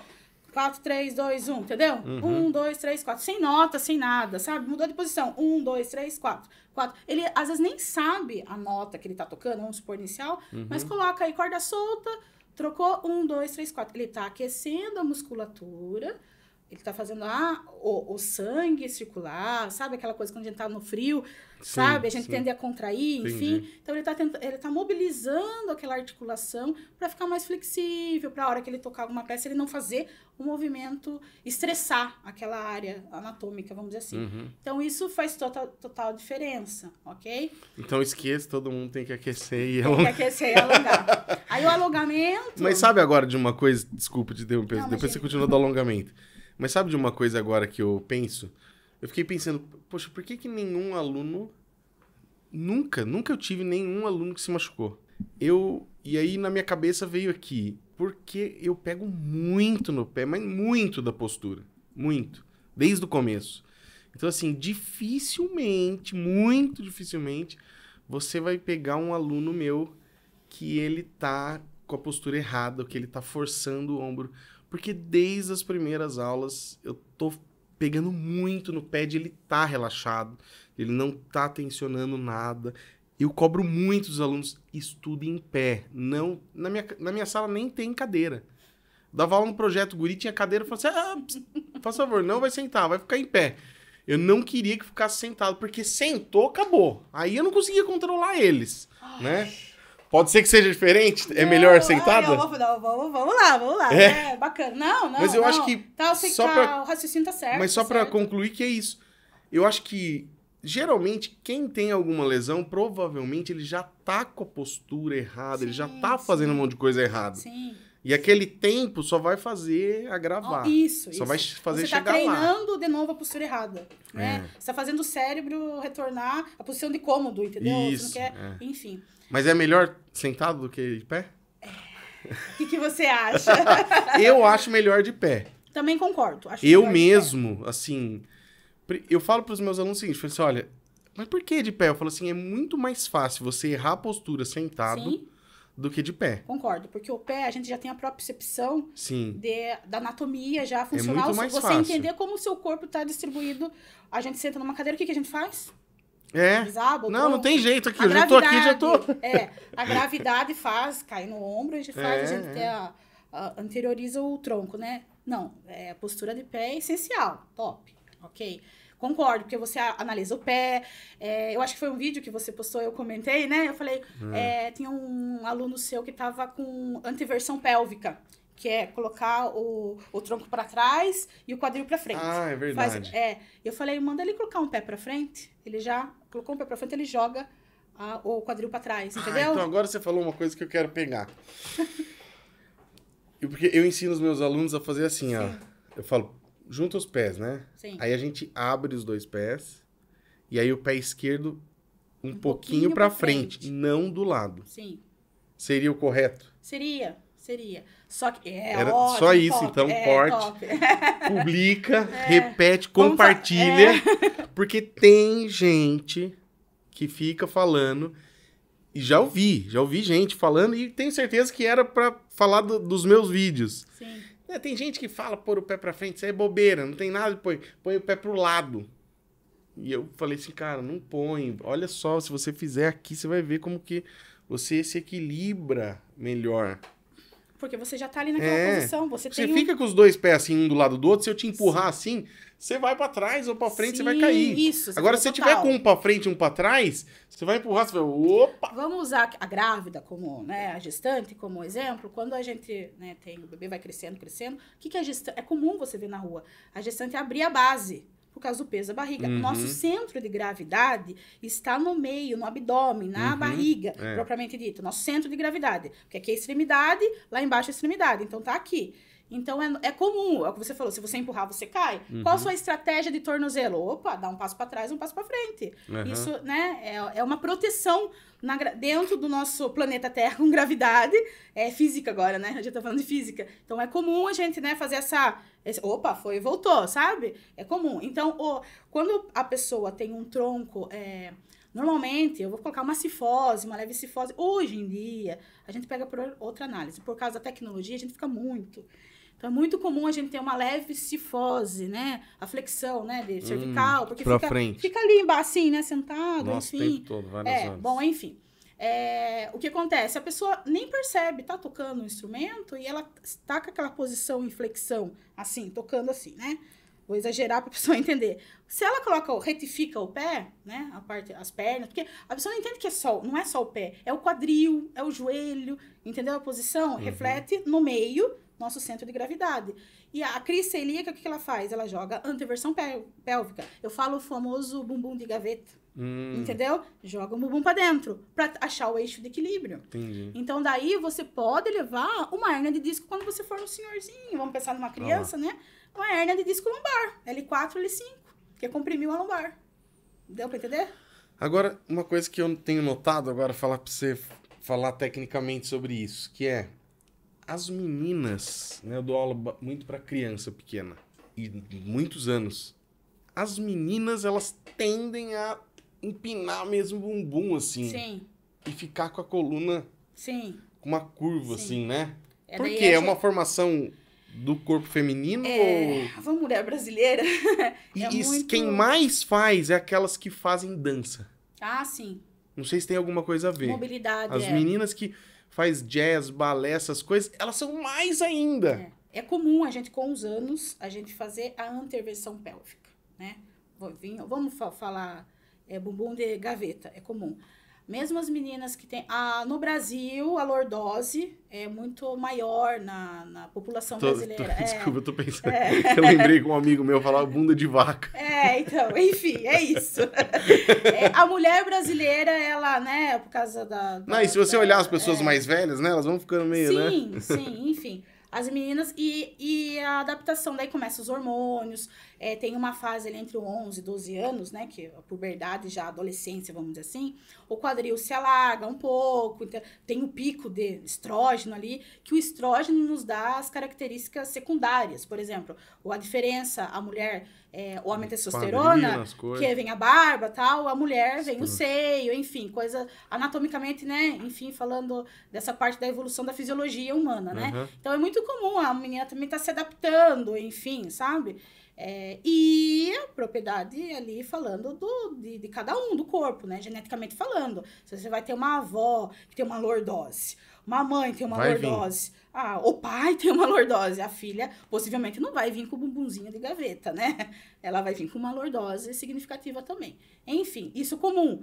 E a menina daí, às vezes acontece assim, é, tem a questão também do seio, do equilíbrio. Lembra que a gente falou do eixo Ah, da gravidade? entendi. Então tem meninas que têm um, um seio maior, um seio menor. Então você pode perceber, quem tem um seio maior, joga pra frente e empina mais o bumbum, entendeu? Entendi. Então é, é uma questão também de Vai equilíbrio. compensando, Com- né? Isso, compensa. É porque a coluna ali tá em ainda adaptação ali, principalmente a lombar também, entendeu? A torácica também, mas ela tá se adaptando é, ali porque tá crescendo, né? Enfim, tá dando aquele estirão, né? A fase de 11, 12 anos é, é mais evidente. É, É, você né? olhar e bater, sabe? Assim, o olho falar, nossa, assim, às vezes em uma semana, nossa, mudou, sabe? É muito, muito, é por causa do hormônio.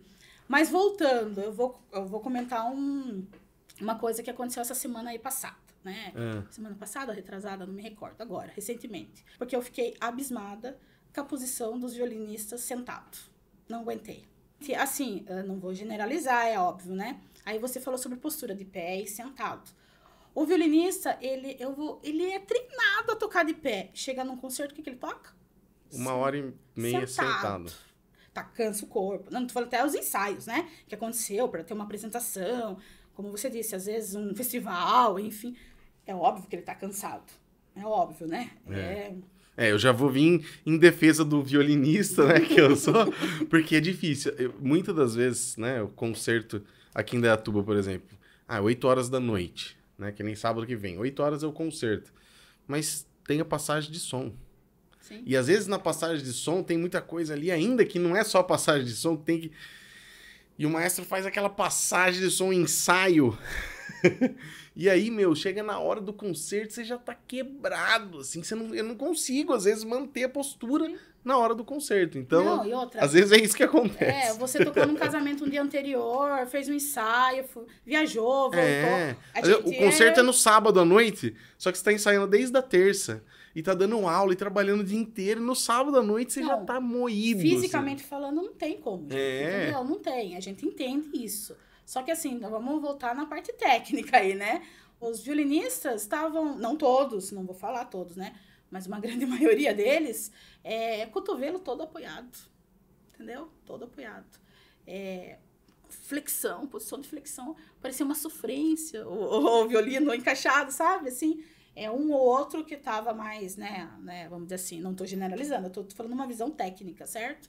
É, mas é isso mesmo que você falou. É, a às vezes o cara tá- canseira, enfim. Mas isso é importante treinar e observar, porque o que eu, o que eu percebo, é, tem pessoas que têm deficiência de equilíbrio, tem, por exemplo, é comum na clínica chegar gente jovem com labirintite, certo? É, meu marido tem labirintite, entendeu? Então, assim, e às vezes é de postura. postura, porque aí em- é, dá aquela, sabe aquela, o, o labirinto, né, que inflama, né, a labirintite é por causa da inflamação do Uhum. labirinto no ouvido. Ele tem conexão aqui com o cerebelo, que é onde dá nossa, nosso equilíbrio, Hum, entendeu? Então ele inflama essa conexão. Pensa, o que que é uma coisa inflamada? Quando você vê, ela tá inflamada, tá com é, calor, né, dor, você coloca uma unha inflamada, você encosta, dói. Entendeu? E ela tá, às vezes, com alguma secreção purulenta, né? Uma leve secreção. Então, às vezes falava a pessoa, ah, tem um labirintite, tá comendo labirintite, mas tá inflamado lá dentro. Então, vai alterar. Se tá inflamado aqui, tá mais um tampão, vamos usar assim, né? aham. Tecnicamente falando, e o outro tá mais livre. Então, é muito normal você começar a andar lateralmente, enfim. Entendi. Então, tem coisas assim que às vezes a pessoa nem sabe que tem, vamos dizer assim, né? E é comum isso daí, a coordenação. As pessoas, por exemplo, têm uma alteração também é, da sensibilidade. É o que eu falo, a coordenação, que como o seu corpo está, é, a gente fala que é propriocepção. Como que o seu corpo está disponível no espaço. Então, você acostuma, treina a pessoa de pé.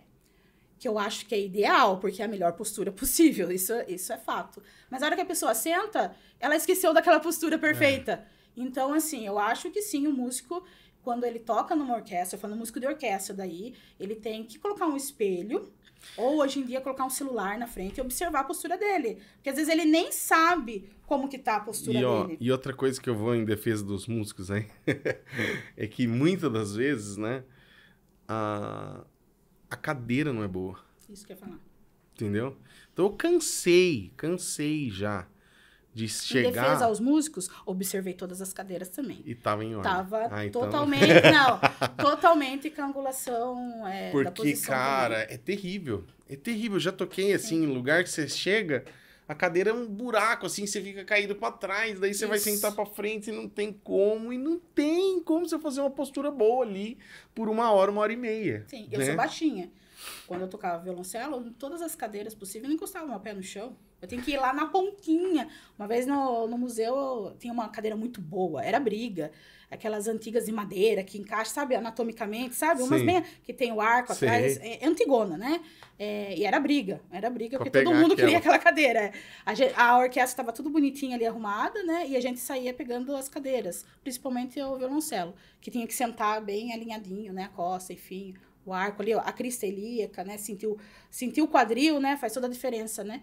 E daí eu lembro que eu sentei tanto na pontinha que a cadeira quase que eu por causa para se encaixar numa cadeira mesmo que Outra coisa que é difícil de tocar sentado também é quem toca na igreja, sim, né? Por exemplo, na congregação. Tem igreja que é cadeira mesmo, mas a congregação é é banco. banco. E às vezes o banco jogado pra trás, os bancos terríveis de tocar, né? E você vai tocar e aí bota virar, cinco né? pessoas no mesmo banco, não cabe, daí você não tem, aí você tem que virar, mas você vai bater no outro, daí você e não tem jeito. Sim. Você fica Mas ali. uma defesa nas igrejas, você toca, descansa, toca. Sim, É. sim. é. É, agora ali, eu acho, daí vamos voltar. Não tem o ritmo de uma orquestra, Não, jamais. Voltar na parte né? técnica é ter um olhar mais delicado para essa. faz toda a diferença. Por como eu falo, eu não sei não é sendo a chata aqui, mas a gente tá. Eu, eu percebo isso. Tanta coisa, não vamos, vamos ser realistas. Evoluiu, certo? É, tanta coisa, né? Tecnologia, internet nos possibilita, né? Hoje, você vai numa escola, para você montar uma escola, independente, eu vou usar pública ou não, se tem carteira ou não, enfim, tem um ergonomista para ver. É a mesma coisa você colocar uma criança ou um adulto numa cadeira de uma criança, entendeu? Pequenininha ali, aquela Uhum. cadeira escolar. É a mesma coisa. Então a gente parou lá, sei lá, em, em 1900 e nem no 1900 bolinha, 1500, sabe? Aquelas cadeiras quando os europeus começaram vindo de Portugal para tocar, a gente parou ainda, não, não evoluiu a estrutura ainda um pouco. Às vezes, às vezes a pessoa até pergunta, já perguntaram para mim, violoncelista pergunta mais sobre posição no sentar. Sentada, é que É. tá sempre, né? É banco. Eu falo, pega um banco. Pega um banco, é melhor que cadeira. É. Pega um banco de madeira.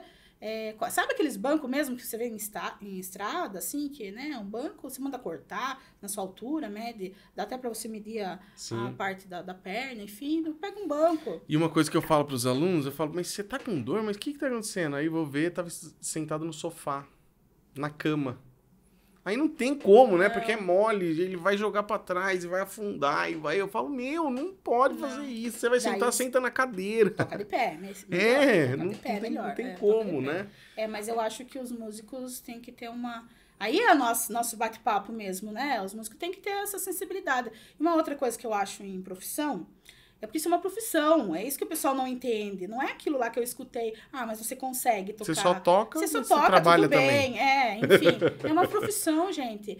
É, você vive disso e você não toca. Não é ali. Ali é uma pequena partícula do que você faz no resto da semana, do estudo. do- Repetidamente. isso. Então eu acho que os, é, essa que é a questão. Eu acho que a, a classe dos músicos também, eles conversam sobre dor. Hoje eu percebo muito isso. Nossa, eu tenho um problema no ombro, tal, enfim. Mas assim, é, eles têm que também, vamos dizer assim, se juntar e, e observar e eles aprenderem o que, que, o que, que é o certo, como você está falando. Uhum. É, e se eu fizer isso? E se eu fizer aquilo? É minha dúvida. Porque você fazendo isso, olha, o Ricardo lá tá passando isso, isso melhorou bastante. Aí eu vou perguntar para ele o que ele vai, fez. vai passando. Propagar a experiência, Sim. entendeu? Porque daí vai chegar num, num, num momento que todo mundo falou: opa, a gente tem que mudar isso daqui. Todo mundo já tem o mínimo ali, vai, vai se melhorando. Porque daí não é uma instrução técnica, sabe? É Sim. uma instrução, gente, a gente tem que melhorar isso daqui. Não tem É. como. Tá, tá dificultando a nossa É. vida, enfim. E a gente, e como assim, ó, por exemplo, eu lá em 2000, eu comecei a estudar violino acho que em 2000, 2000 e 2001, 2000, 2001. Hoje nós estamos em 2023. Então, quer dizer, passou 22 23 anos, 23 anos fazendo as mesmas coisas, os mesmos, né? A mão, lá, o dedo tá torto já. Só que lá E durante esse período a gente ignora o que, que tanto de vezes que a gente vai repetir, né? Então é importante todo mundo saber disso daí, É, né? Não, eu acho importante mesmo. E o braço que você trouxe aí é um braço, né? É um braço, é. Uma, Vamos- vamos dei- vamos falar aí. tecnicamente, né? Eu, como uma boa professora É. de anatomia, eu dei aula há alguns anos aí. É, membro superior. Membro Membro superior, superior. esquerdo, direito. Esse daqui, direito, por Ah causa lá. do polegar. A gente olha o Direito, polegar, verdade. direito, certo? Então a gente tem assim uma. Eu tirei um músculo que vem aqui, que é o músculo do ombro, deltoide, certo? Tá. Para conseguir visualizar bem o modelo anatômico ali do. Pega um pedacinho do úmero, o osso, certo? Ótimo. Então, o que às vezes me perguntam, que eu vejo clinicamente falando, as pessoas acham que o músculo é uma coisa só, né? Ou o osso é uma coisa só, né? Não entendem que é tudo separadinho, ok? Então, o que eu queria mostrar basicamente aqui, que nos ajuda muito pro músculo, é essa articulação aqui do ombro. Nós não vamos ter ali, propriamente dito, a clavícula, né? Que é o osso Sim, aqui vem da frente, porque ela, ele vem aqui, se encaixa aqui e passa aqui na frente, certo? Esse claro é o osso. É o osso aqui, ó, o úmero, o desenho do úmero, tá vendo? Uhum. O cinza é o quê? Os cinzas são os tendões, né? Que passa ali. Ah, tá. é, enfim, E o vermelho? é- e o vermelho Músculo. é artéria. Ah, Ah, não, artéria. o vermelho aqui, perdão. É o vermelho aqui ar- é o músculo, certo? Aqui. E aqui, ó, esse vermelho é a artéria. Ah, o vermelhinho é a Aqui é a artéria. artéria. E aqui é o nervo que eu queria mostrar. Ah. O amarelo é o nervo, a inervação. Aquele que eu machuquei aqui parece aí ou não? Parece aqui, ó. ó, aqui o braquio radical. Bra... Perdão, braquio radial. Ah, e ele Aqui, desmonta ó, aí, olha que legal. desmonta aqui, ó. Vamos ver se a gente consegue Ah, arrancar. agora que eu entendi que ele vai mostrando por dentro. É, aí, ó. Eu já vi um TikTok de Hum. um cara que ele. Eu não sei se ele é médico, se ele tá estudando, e ele vai mostrando as partes, mas é no corpo mesmo. assim. Acho que Ah, na faculdade sim. ele pega e ele. Sim. Ah, isso aqui Vai é tal coisa. E vai rebate. mostrando, cara. Nossa, mas. É, na faculdade a gente aprende em peças cadavéricas. É né? isso, é de Isso, cadáver é. mesmo. Ele vai mostrando lá. Eu, eu gosto de ficar vendo. Aí Eu aí eu vejo um e, e começa a aparecer, e começa a aparecer. Eu fico vendo um Isso, monte disso. E a gente não tem noção no nosso corpo humano. E a gente tem também, a gente fala variações anatômicas. Por exemplo, às vezes a gente tem um tendão de um lado, e Maior anatomicamente falando, por causa do, do pai, isso, do pai, às vezes a gente nem tem um nervinho, enfim. É muito comum a gente ter o ciático, às vezes, do lado esquerdo, não ter do lado direito. Sabe? Às vezes a pessoa fala, por que só dói do lado, dire... do lado esquerdo? Olha. Possivelmente, se você fizer um exame, talvez só tenha do lado esquerdo. Caramba. Não tenha do lado direito. Mas enfim, aqui é o seu músculo que você falou, o Esse é um que tá por radial, cima. certo? Que ele faz basicamente a pronação e a supinação. Aham. Mas o que eu queria mostrar aqui E é ali é onde o tendão, o que, que é o tendão? amor. Mostra, aparece O tendão aí? é o azul. Tudo que é azul são tendões, Ah, certo? tá. Então são tendões. Os tendões são como elásticos. Ele vai e Isso, volta ele para ele fazer. lá. Isso aqui é flexão, relaxamento, sabe? E a e tendinite é quando in- Inflama daí. a capa desse. Isso, Tendão. eu posso ter uma tendinite, por exemplo, aqui, ó. O que que acontece muito? Túnel do carpo. Tá vendo que todos os nervos passam, tendões, né? E o nervinho também, que é o amarelo, os flexores palmar, passa num único espaço entre os ossos. Então, se inflama isso daqui, que é uma coisa comum, que esse é, é, é o tendão aqui do carpo, se inflama aqui, ele vai afetar todos da mão, entendeu? E pode irradiar até o cotovelo. Entendi. Então a pessoa não tem essa, essa noção. Fala, às vezes chega na clínica e fala, a dor é só aqui. Não é só ali, ela está sendo irradiada. Está sendo é, colocada em outros segmentos, certo? Está sendo. Mas importante que eu queria mostrar é Ah. essa parte que você está falando e, tirando a dúvida. É basicamente a nossa escápula, que é o que eu, clinicamente falando, que é muito comum. Uhum. Quando a gente tem escápula, a gente está tendo uma visão anterior desse, desse modelo anatômico, certo? Aí ele mostra melhor É, anatomicamente falando, a gente tá vendo numa visão anterior, assim, certo? O braço Aham. tá, tá nessa posição aqui, de frente, certo? Tá. Posição anterior do braço. Então, a gente vê a mão, tal, né? O antebraço, o braço, pegou o úmero aqui e o ombro, ok? Essa é a escápula, que é a asinha que os pacientes falam lá atrás. Só que eu tendo... É só essa parte rosa fora, bem na ponta, é osso. É osso. Isso é osso. É osso, isso. Tá. Daí você tá vendo que vem a palneirose, que é os tendãozinhos, bem uns ligamentos bem pequenininhos, que é onde fica ali depositado, já vem o músculo. E aqui a gente consegue ver a artéria e o nervo. Entendi. Tá vendo? Então, o mesmo nervo, essa aqui é do plexo braquial, ele se insere na C5 até mais ou menos a T1 que ele vai, que ele tem, sai quatro ligamentos ali, nervos, ele sai ali, dali. Ele vem até a mãozinha, até a nossa pontinha do dedo e vem até a escápula. Tá vendo? Ela vem anteriormente à escápula. O que que acontece? Quando a gente tira essa parte aqui, peitoral, tal, a gente tá vendo a escápula lá na parte anterior dela. E esse músculo é um músculo muito, muito comum no principal da dor. Ele, é, a, ele interfere ali também com os romboides, que é aquele que a gente, né, eh, joga um pouquinho o braço para lá, para trás, Entendi. sabe? Faz a mobilização uhum. da escápula. Então é muito comum o músico sentir uma dor bem. A gente fala assim, ele fala assim, ai, bem nazinha, tá doendo bem embaixo da zinha. Normalmente é esse músculo aqui, mas por quê? Ele tem uma irradiação diretamente do plexo braquial. O que, que o plexo braquial faz? Ele passa esse nervão enorme, amarelo aqui, hum. ele passa exatamente entre os três ossos: hum. clavícula, úmero hum. e escápula. Então, quando ele está inflamado, uma bursite, uma tendinite... Foi o que aconteceu, eu lembro que ele falou isso mesmo. Passava entre os ossos, eu lembro. Incha e ele pode... Daí a questão, eu posso ser uma bursite? Pode irradiar para a escápula. Eu posso ser uma bursite? Irradiar para o cotovelo. Hum. Eu posso ser uma hum. bursite? Irradiar para a mão. E às vezes a, a, pessoa vem, ai, a minha mão está doendo, mas às vezes é lá no ombro. Entendi. Deu, deu para entender a importância Entendi. do ombro, eu acho, basicamente para o músico?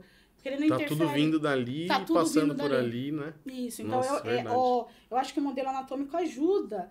E eu gosto muito porque às vezes a pessoa fala assim, ah, é um nervinho aqui. Na cabeça dela, o nervinho é um fiozinho só aqui. Mas esse, tá esse, é, esse fiozinho tudo. sai lá da coluna cervical. Entendi. Sai da cervical. Então, às vezes, uma pessoa tem uma hérnia cervical e fala, eu sinto choquinho até a ponta do meu dedo. Isso. Deu para entender?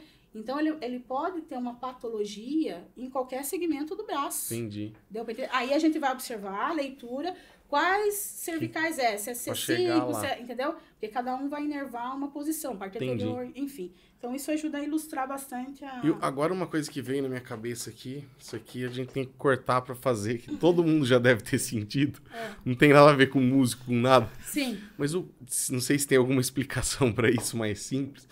Mas o que, que é quando. Sabe quando a gente bate o cotovelo? Dá aquele choquinho? Que dá aquele choque. Ai, ai, ai, é o, do, o, uma irradiação do nervo que mesmo. O que é? Pegou, bateu o nervo? Quem é, é isso? a gente tem aqui os ossinhos, né? O rádio é. e a una. É o, né? o rádio e a una. Eu falo, é um aqui e um aqui. É. Que faz essa ajuda aos músculos fazer a conjuntura da pronação e supinação.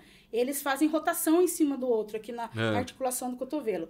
E, e passa entre, os nervos ali. Isso, entre esses Aí ossinhos... Você é, ele é, porque aqui no cotovelo, se você sentir, é muito comum você sentir já o osso, porque a musculatura não é, ó, o músculo, o desenho aqui tá, tá mais gordinho e aqui tá mais fininho, porque uhum. a inserção, ó, que ele faz isso aqui, ó, tá vendo? Aqui o meio é gordinho e aqui já vai começando, já vai afinando. afinando, elastiquinho. E nesse elastiquinho, tô dando um exemplo, né? E nesse elastiquinho, ali passa entre o osso. Ele é quando você bate, é como se pegasse a molinha e batesse bem no. Você tá jogando uma agulhinha no. Entendi. No, é tipo uma acupuntura, sabe? Bem no. no e, e, outra coisa que a gente fazia na escola, não sei se o André fazia, era pegar o amigo e falar: não, faz assim, ó. Aí pegava assim e dava um murro aqui, não sei se você lembra disso, André. Você fazia isso na escola e fazia assim, ó.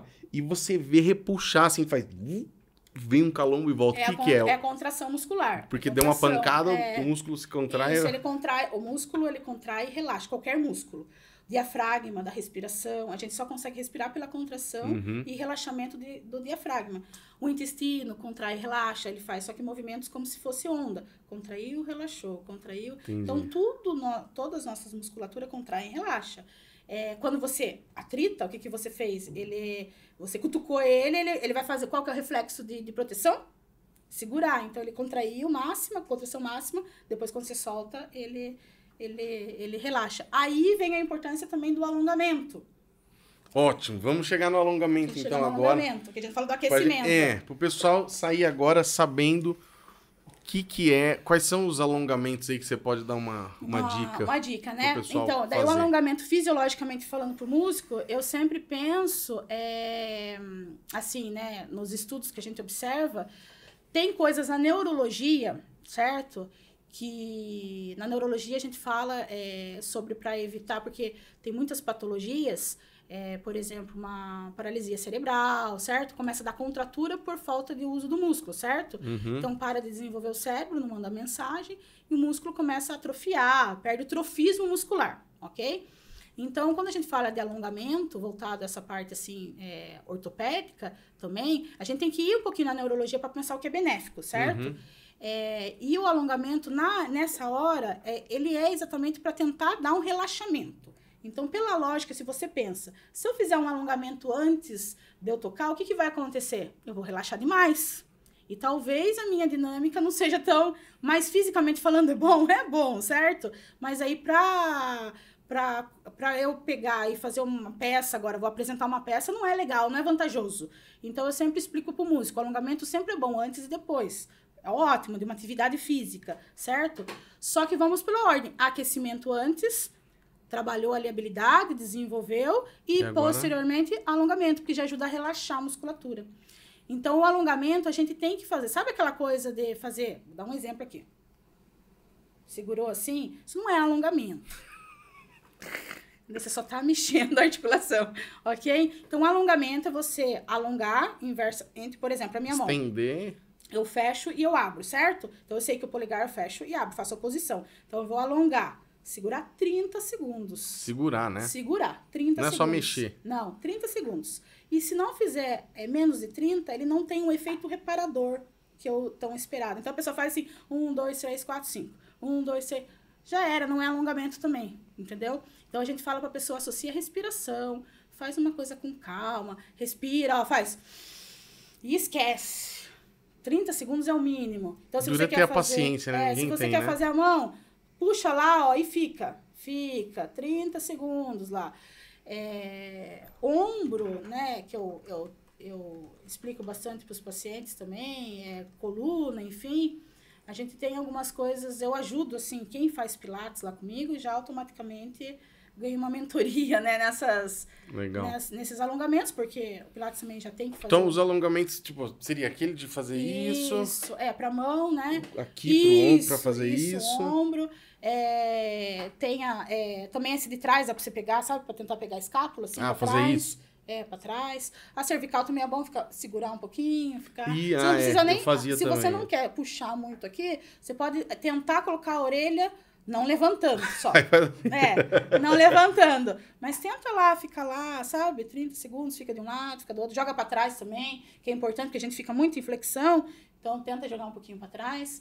Mas, assim, especificamente é, costas, vamos dizer assim, ombro, é, a gente faz muito né, usando a parede da casa, dou uns exemplos, talvez com uma bolinha ou sentado no chão, é, que ele alonga mesmo, enfim, né? Mas quando você não está no lugar, por exemplo, eu sempre, sempre falo cadeira, por exemplo, você coloca a mão aqui assim na cadeira e tenta jogar para trás, escápula Uhum. lá, ele alonga, né? Sim, você é. fecha, tenta aproximar elas. Eu faço, juntas. às vezes, tô aqui no escritório, Isso, daí às vezes eu ponho a mão aqui. fica um Isso, pouquinho joga. assim. Colocar as duas, tentar abraçar as duas na mão assim, puxar uma pelo punho, puxar outra. Isso auxilia, porque você tá tocando, às vezes não consegue fazer deitar no chão.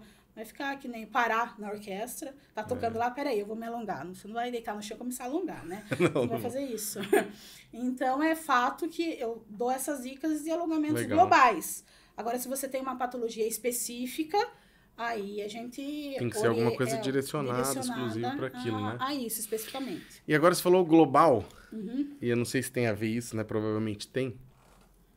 É, RPG, que é reposicionamento da postura global, é, isso, né? Educação postural Reeducação global. Isso. Postural global. É.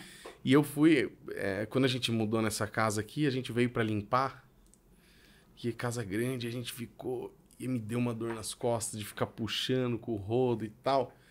E aí eu fui numa físio que fazia físio do meu filho, RPG. desde, desde pequeno.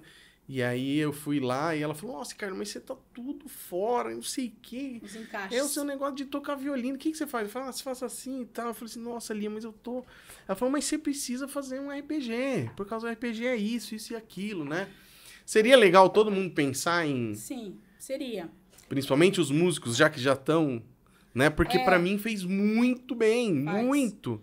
Eu falo Eu me assim, senti muito é, bem. A técnica do RPG, né, é, que popularizou assim, na, na verdade, a gente dá orientação do que você precisa. Essa E você tem que sentir o seu corpo.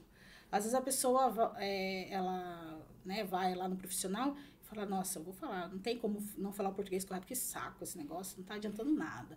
Mas essa que é a questão. Você, muitas, muitas coisas envolvendo postura, você não percebe que você está com a postura errada. Para você é, é normal, entendeu? E outra, o cara tá fazendo errado há 20 anos. Aí ele quer fazer três vezes aquele jeito certo, ele quer já, já ficar Sim, muito... isso é muito. Nossa, isso você falou tudo. Né? Não é adianta, muito gente. comum, muito comum. Tem coisas específicas, eu tô falando porque eu atendo muito pacientes cardiorrespiratórios, problemas respiratórios, né? E você tem que ir lá na sessão, você tem que resolver aquilo na sessão, não tem como. Certo? Tem coisas que é específico. Porque a pessoa tá com uma secreção, tá com quadro gripal, até é, foi fumante muito tempo, tabagista. Então ela tá com alguma coisa que tá, tá, tá dificultando ele respirar. Então ele tem que sair, dar aquele alívio, enfim, né? Então tem coisas que você tem que resolver. Senão o paciente não. Talvez até aconteça algo preocupante, né? Tem que ir para um hospital ou até chamar um SAMU, né? Ter algum problema respiratório e, e ter uma parada respiratória, vamos pensar assim, né? Uma coisa mais grave. Uhum. Mas tem coisas que não dá para você ter agilidade, você tem que ter paciência. Tem que ter paciência. Tem, é. Que é a longo prazo. Então eu comento assim, é, eu falo na- no Pilates, eu não aplico muito RPG. Por mais que eu tenha um curso de RPG, eu, é que assim, habilidade eu gosto mais do Pilates. A gente tem que ter essa, Entendi. essa visão também. Todo Vai meio que no mesmo sentido, assim? Sim, sim. O Entendi. Pilates, ele é uma coisa assim mais é, ampla, voltada... É basicamente o mesmo processo, a mesma, a mesma cabeça, a mes- a mesma metodologia do RPG. Entendi, Fazer você se orientar tal. Só que hoje eu vejo o Pilates também com uma abertura muito assim, é, engessada. É, ah, vamos alongar primeiro, depois eu ensino você a fazer isso, você a fazer aquilo, como se fosse um método que de aprendizado primeiro ano, segundo ano, terceiro ano, quarto ano, entendeu? Então, isso eu já não gosto da metodologia também. Entendi. Então, não é todo mundo que eu estou falando, certo? Que faz isso também. Hoje os profissionais estão estão bem mais abertos a essas questões, não tem uma coisa engessada. Aham. Porém, o que, que acontece? É, a habilidade, eu acho que tudo depende de uma avaliação. Você tem que fazer uma avaliação clínica. Se você não fizer uma avaliação clínica, você não sabe o que o seu paciente tem. Então, às vezes, a pessoa vem, que nem você está falando do RPG, e você viu que umas duas, três sessões de RPG, ele não. Aí você fala aqui, vem, Ricardo, vem um pouquinho aqui na outra salinha. A gente fala, no- normalmente eu falo isso. Vem aqui, ó, hoje não tô querendo ficar naquela. Eu já, já peguei paciente idoso desse jeito que são muito, sabe? Não quer fazer resistente, diferente, não quer né? fazer coisa diferente. Ai, olha, minha maca lá não tá muito boa hoje. Vamos naquela maca grandona lá do Pilates, porque parece uma maca, né? E daí você deita lá e eu consigo fazer alongar melhor. Aí a hora que ela tá alongando, eu falo assim, ah, dá essa alça aqui pra mim, coloca o pé na alça. Aí quando ela começa a perceber, ela tá adorando fazer o Pilates. En- en- entendeu? Ah, Porque legal. E você tem que pegar habilidade a partir do que ele apresenta naquele momento. Isso é uma, uma visão que eu tenho. Então não adianta você retroceder. Se você é ativo, se você consegue agachar, levantar, rolar, você não vai no Pilates ficar só alongando. Deu pra você entender? Eu Daí acho o cara faz um, dois meses, Desi- desanima e vai embora. desanima, Porque ele não vê nada. Agora, eu tenho uma senhora que ela tem uma deficiência visual, é baixa visão, né? Baixa visão. Ela vê, mas muito pertinho, alguma coisa com luminosidade. É, eu tenho uns tapetes de borracha que eu coloco já pro, né, proposital para ela fazer o caminhar. Uhum. E ela já sabe na, na- a estrutura física da sala. Então ela já chega, já senta, tira o sapato dela, né, o tênis dela, coloca a meinha, que ela gosta de colocar a meinha já, e ela já vai tateando assim, pede um pouquinho pra mim, mas ela já vai. Ah, eu vou começar. Ela mesma fala: "Hoje eu vou começar pelo aquele grandão". Ela já vai, só me fala o lado. Ela já deita e vai, faz. Depois ela sai, anda, entendeu?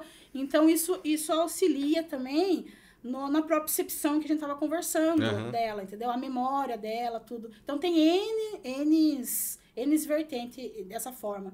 Mas o principal é as pessoas identificarem é, o seu problema mesmo. A pessoa não tem essa noção que a postura dela tá errada. Quando ela Não, começa não. a fazer, ela fala, gente. Não, e outro, porque não, você não fica numa postura do dia pra noite. Não. Você vai construindo aquilo, repetindo, repetindo, Sim. repetindo. E daí, Daqui a às pouco vezes, você. às vezes começa a fazer o exercício e fala bem assim.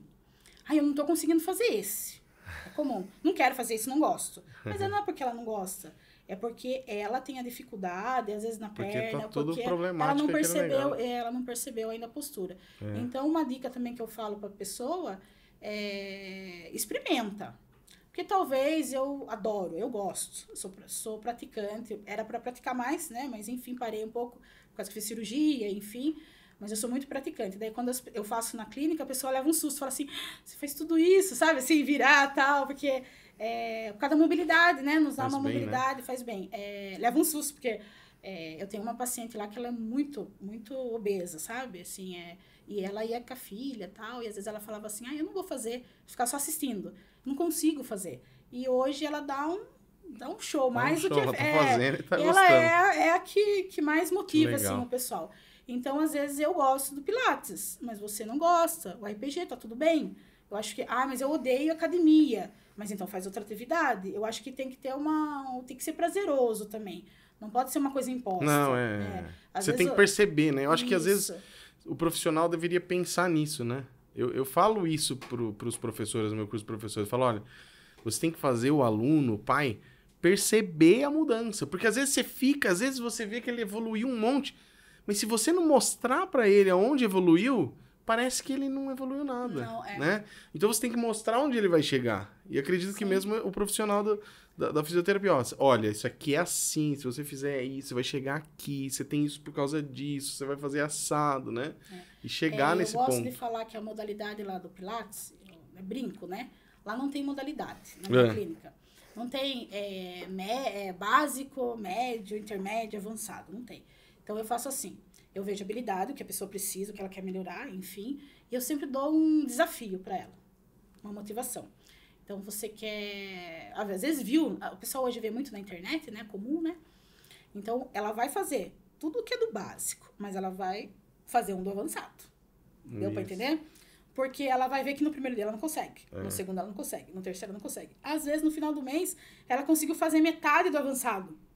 Então, motiva ela, daí eu explico. É como se fosse o aquecimento, os outros, entendeu? Então, ela já chega, faz o alongamento, faz isso, faz aquilo, faz o treino de perna, faz, faz É. toda o- a mobilidade. Agora, no final, vamos treinar a evolução? E daí, Pronto. pra, pra ela treinar... Vai ó, mostrando, vai né? mostrando. Ela Isso- vai percebendo. E hoje tem o, vai a se motivando. tecnologia, dá pra gente gravar, e ela mesma vê. Sim, Então legal. reflete isso no músico. O É. músico tem que fazer isso, eu acho. Sim, Vai estudar, certeza. Grava lá, coloca o celular pra gravar, Pra sua ver o que você tá posição, fazendo, é. é. Coloca um espelho Eu na falo frente, sempre pros alunos, é, isso. Observa, mesmo que você não fique observando no espelho, propriamente dito, é grava. De vez em quando dá uma olha, olhada, é. Pra Nossa, ver. fala Porque às vezes tá mudando e a gente não tá vendo. Não tá vendo né? isso, é. Ana, e essas bandagens aí que você trouxe, é bandagem? Tem um É. outro nome pra isso aqui. É, bandagem funcional, ou tape, né? O pessoal fala teraband, é, tem umas técnicas. outro é, nome que é, a-. Eu falo que eu falo bandagem funcional e eu, eu esqueço. É kinésio tape. Kinésio. Kinésio. Kinésio. Porque tem essa da marca da Kinésio aí, ó. Essa é Ah, tradicional. Kinésio é marca? É uma marca, por isso Ah, que ficou. Kinésio é marca. É. Entendi. Ela Igual é maisena, é, bombril. Isso, é bandagem funcional. Ah, entendi. Ela foi, na verdade, é, meio que é, Se você inventada. quiser pegar mostrar aí pra. Sim, ela é meio. é, Dentro do- foi inventada câmera para a aí. parte neurológica, certo? É, fazer essa, essa propriocepção de, de. a sensorial, na verdade, perdão. é, que o, a- o paciente neurológico não tem a noção da contração que está contraindo. Às vezes tem o clonus, aquele movimento involuntário, sabe? É, a pessoa, para o pessoal entender, é igual o Parkinson, né? Às vezes você vai fazer um alongamento numa criança, na perna, começa, começa a tremer, Uhum. e aquilo é clonus, que o músculo ele não consegue chegar na, e o tendão no, no estiramento, no movimento. Então começa a dar aquela tremida. É. Então as bandagens ajudam muito, até mesmo para posicionar. Ela tem a bandagem rígida e a bandagem elástica. A rígida, ela é para imobilizar mesmo, tem as, as funções de Hum. imobilizar o membro ali. Então a gente. Aí o que, que ela foi muito comercializada com os atletas, né? Então ela vende assim, ela pode ser vendida assim também já, ó. Essa fui eu que cortei, mas elas podem ser vendidas assim, já cortadinha, sabe? Assim só unitária, assim. É um pouco mais difícil de achar hoje. Entendi. Eu acho que, ó, tá vendo? Essa aqui foi eu que cortei. Ah, eu quero usar no dedo só. Posso comprar várias, assim, 10 num pacotinho que venha, sabe, na, na, na forma Mas isso é bom a cortada. pessoa procurar um profissional. Isso. Não ir lá comprar numa loja Não. dessas de. Eu trouxe por que que eu trouxe para explicar. É, isso aqui é uma área da área da saúde, hoje em dia é muito usado também pós-cirúrgico para aumentar a circulação local, a drenagem, tem uma soft. E qual que é a função? Como que faz. funciona? Você É. põe de uma certa maneira que ela vai. Isso, então, isso. Eu vou pegar uma aqui, né, para você entender é, mais ou menos, Vou, basicamente. vou pedir pra você mostrar mais em Aqui? cima, assim. Tá. Então, por exemplo, ela é uma. é, deixa eu pegar só uma aqui, um pedacinho que eu tenho cortado aqui, que é Tá. mais fácil. Ó, ela é uma, um elástico, basicamente não tem medicação, não tem nada usado para dor também. Eu vou tirar um pedacinho. E ela tem umas ruguinhas aqui, tá vendo? Ó? Hum. E ela, ela, ela, ó, Ah, entendi. ela é um elástico, tá vendo? E ela cola. Uma cola, ó. E aí você põe quando tá esticado? do- O que, que é? Isso. Alguma função nesse Depende da função. É. Então eu falo muito pro músico que é importante ele saber os recursos que existem hoje na saúde, no esporte também. O pessoal usa muito em Aham. esporte, grande em torneios. Então vamos supor, vou usar na mão, que fica mais fácil de visualizar aqui. É, polegar, né? Eu tenho, quero, por exemplo, eu tenho uma tendinite aqui, eu quero meio que alinhar para mim não forçar muito o polegar e tal. Então eu vou lá, uso como base.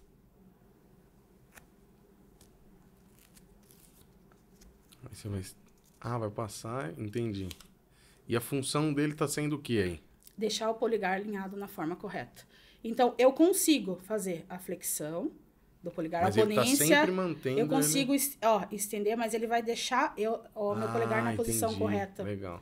Então, quando eu te fizer um movimento errado, eu vou lembrar. Porque ele vai estar. é como se eu criasse um músculo extra na Que posição fica correta. pondo ele no... Isso. Essa forma Entendi. de também de que a gente fala de polvo, sabe? É. É, eu gosto muito de colocar aqui, assim, ó. Ah, já mãos. vi gente usando assim. É, porque daí eu consigo fazer o, o- a forma correta, né? Hum, Aqui, por aí exemplo, você vai pedir pra pessoa ficar na posição Relaxada? Isso, relaxada. e vai e pôr. Eu, e eu vou colocando, é. Ah, Por exemplo, a posição, vamos pensar a posição. Eu vou usar o violoncelo como exemplo, que é mais fácil para mim explicar. Então, eu coloco aqui, é redondinho, bonitinho, já fiz o polegar, É. ok? Já tô com o polegar, ok. Ó, o polegar meu fica certinho, ó. Uhum. aqui, não sei se é a câmera. O polegar fica Legal. certinho, ok? Ó, do violoncelo tem que ficar com a mão mais assim, redondinha, né? Pensar, eu sempre lembro do meu professor falando, como se tivesse uma bolinha dentro do, do espaço aqui da mão, enfim, né? Bem redondinho assim. Então, por exemplo, eu posso até colocar ele no violoncelo, falar, relaxa a mão, mantém, venho você com põe. âncora, coloco aqui, deixa o dedo alinhadinho, então ele, ele vai conseguir esticar, ficar, ter a Só que ele tá mobilidade. sempre colocando Só que ele está sempre certo. colocando no lugar certo. A gente tem no violino um problema que os alunos, até eu começo a ensinar a segurar o arco por fora, não Sim. dentro. E eu ensino ponta do dedão pra ficar assim. Porque o arco do violino parece que ele foi feito pra enfiar o dedo lá no meio, né? E não foi. É, É pra apoiar a ponta mesmo assim. E eu quero sempre que o dedo do aluno fique desse jeito aqui. Mas geralmente eles, eles, fazem eles isso. apertam e fazem assim. Então seria também um jeito de Sim, pôr, de- Pôr. deixando ele assim. isso. E aí então sempre ele vai ficar. Vai ficar isso. Ele vai ter Acabaram o os cé- problemas do dedão, então. é, o cérebro de- da, da pessoa vai entender que é comum na neurologia. Por isso que eu tô falando. A, o músculo ele vai perdendo o trofismo, né? Muscular, e vai. É, é comum, todo mundo já vê. Eu vou usar o termo não, não, não técnico, assim. Vai ficando tudo né, curvado para dentro, Uhum. torto. Enfim, né? Não tem mais aquela mobilidade articular, porque ele não estimula, não desenvolve, não mexe. Às Entendi. vezes até tem um leve movimento, mas nunca andou. Tô dando um exemplo das crianças com paralisia cerebral, que é, que é muito comum ter. É, enfim, então, é, quando você coloca a bandagem e alinha o músculo na posição correta, faz com que o cérebro entenda que, aquela contra, que aquele tem que estar ali, é como se fosse um molde para estar bonitinho ali. E tem a questão sensorial. Então, você está assim, relaxado, por exemplo, que nem eu tô com o polegar aqui. Tô relaxado, meu músculo não vai, não vai ficar na posição errada. Entendeu? O dedo não vai ficar na posição errada. Isso serve tanto para fazer uma prevenção, que é essa, eu acho que no músico é essa Sim, questão. Legal. É, todos os, os meus, eu falo meninos, porque a maioria é homem que tem lá, né?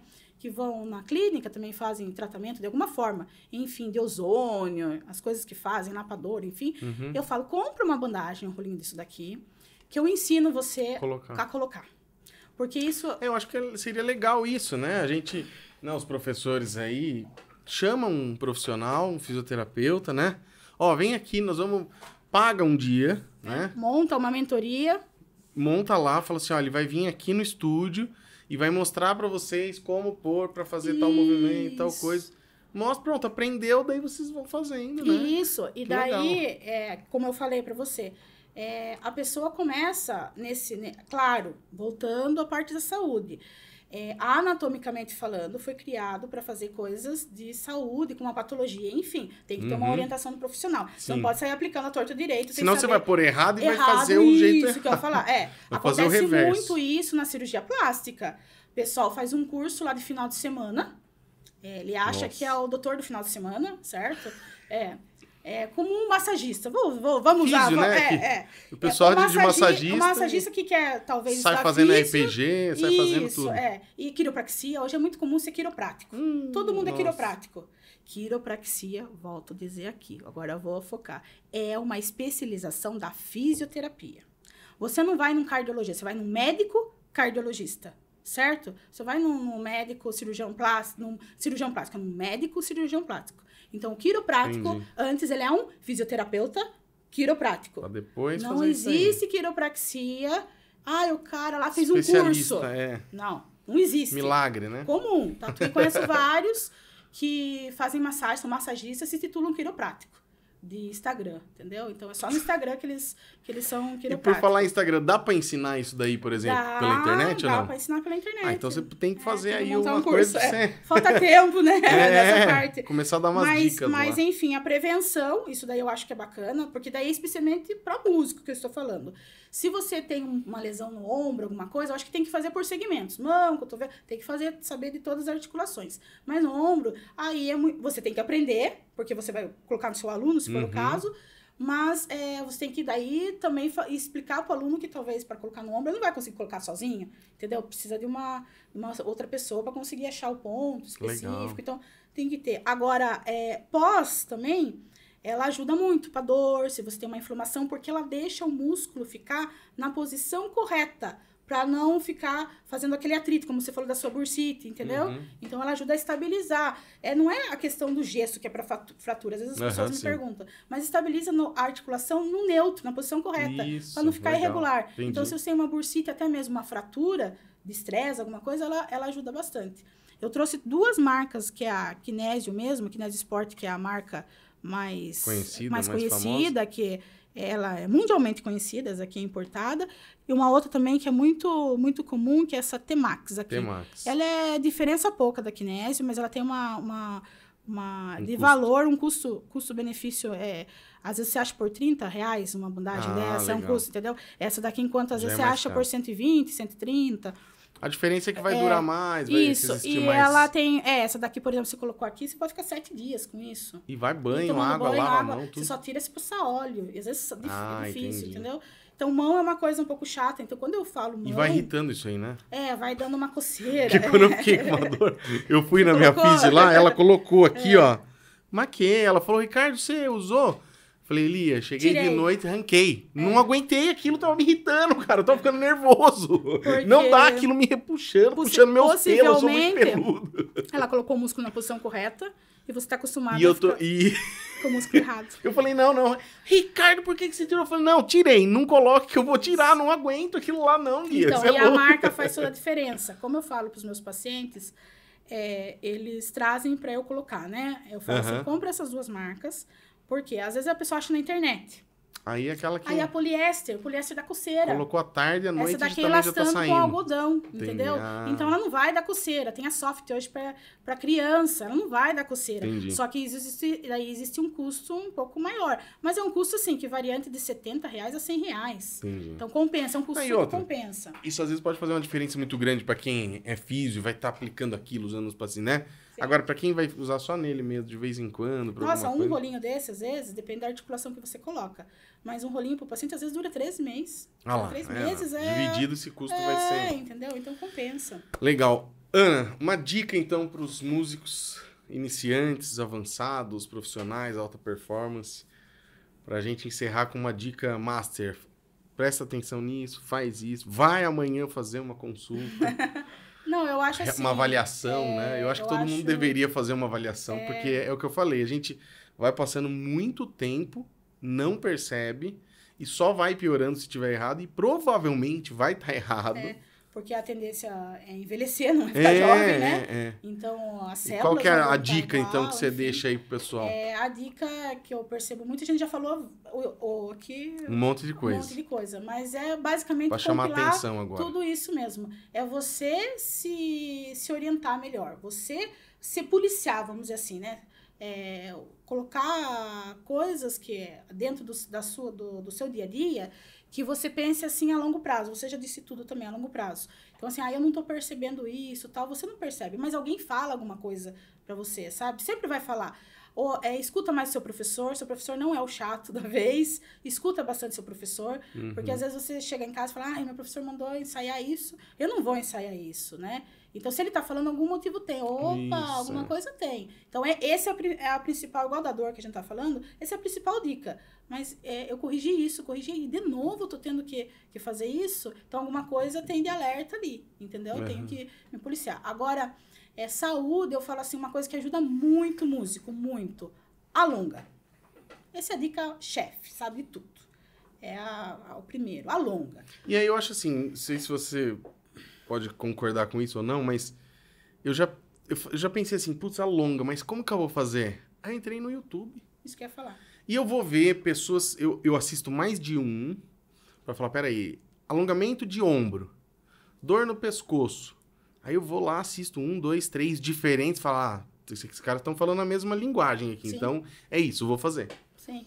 Isso. Seria É, isso, né? seria isso, Dá é. pra... Porque o alongamento não é prejudicial, você entendeu o que eu tô falando? De qualquer forma, ah, eu tô alongando o músculo da perna que eu não uso. Quem disse que talvez você não vai usar? Você vai ficar de pé, tocando uma peça, você vai usar, você entendeu? Então, assim, eu falo assim, pense no seu corpo como um todo. Uhum. Não só na área que você que você estuda, só o ombro, só, né? Quando você tiver uma patologia, um alerta, Joia. uma dor, aí você vai tratar aquilo específico. Uhum.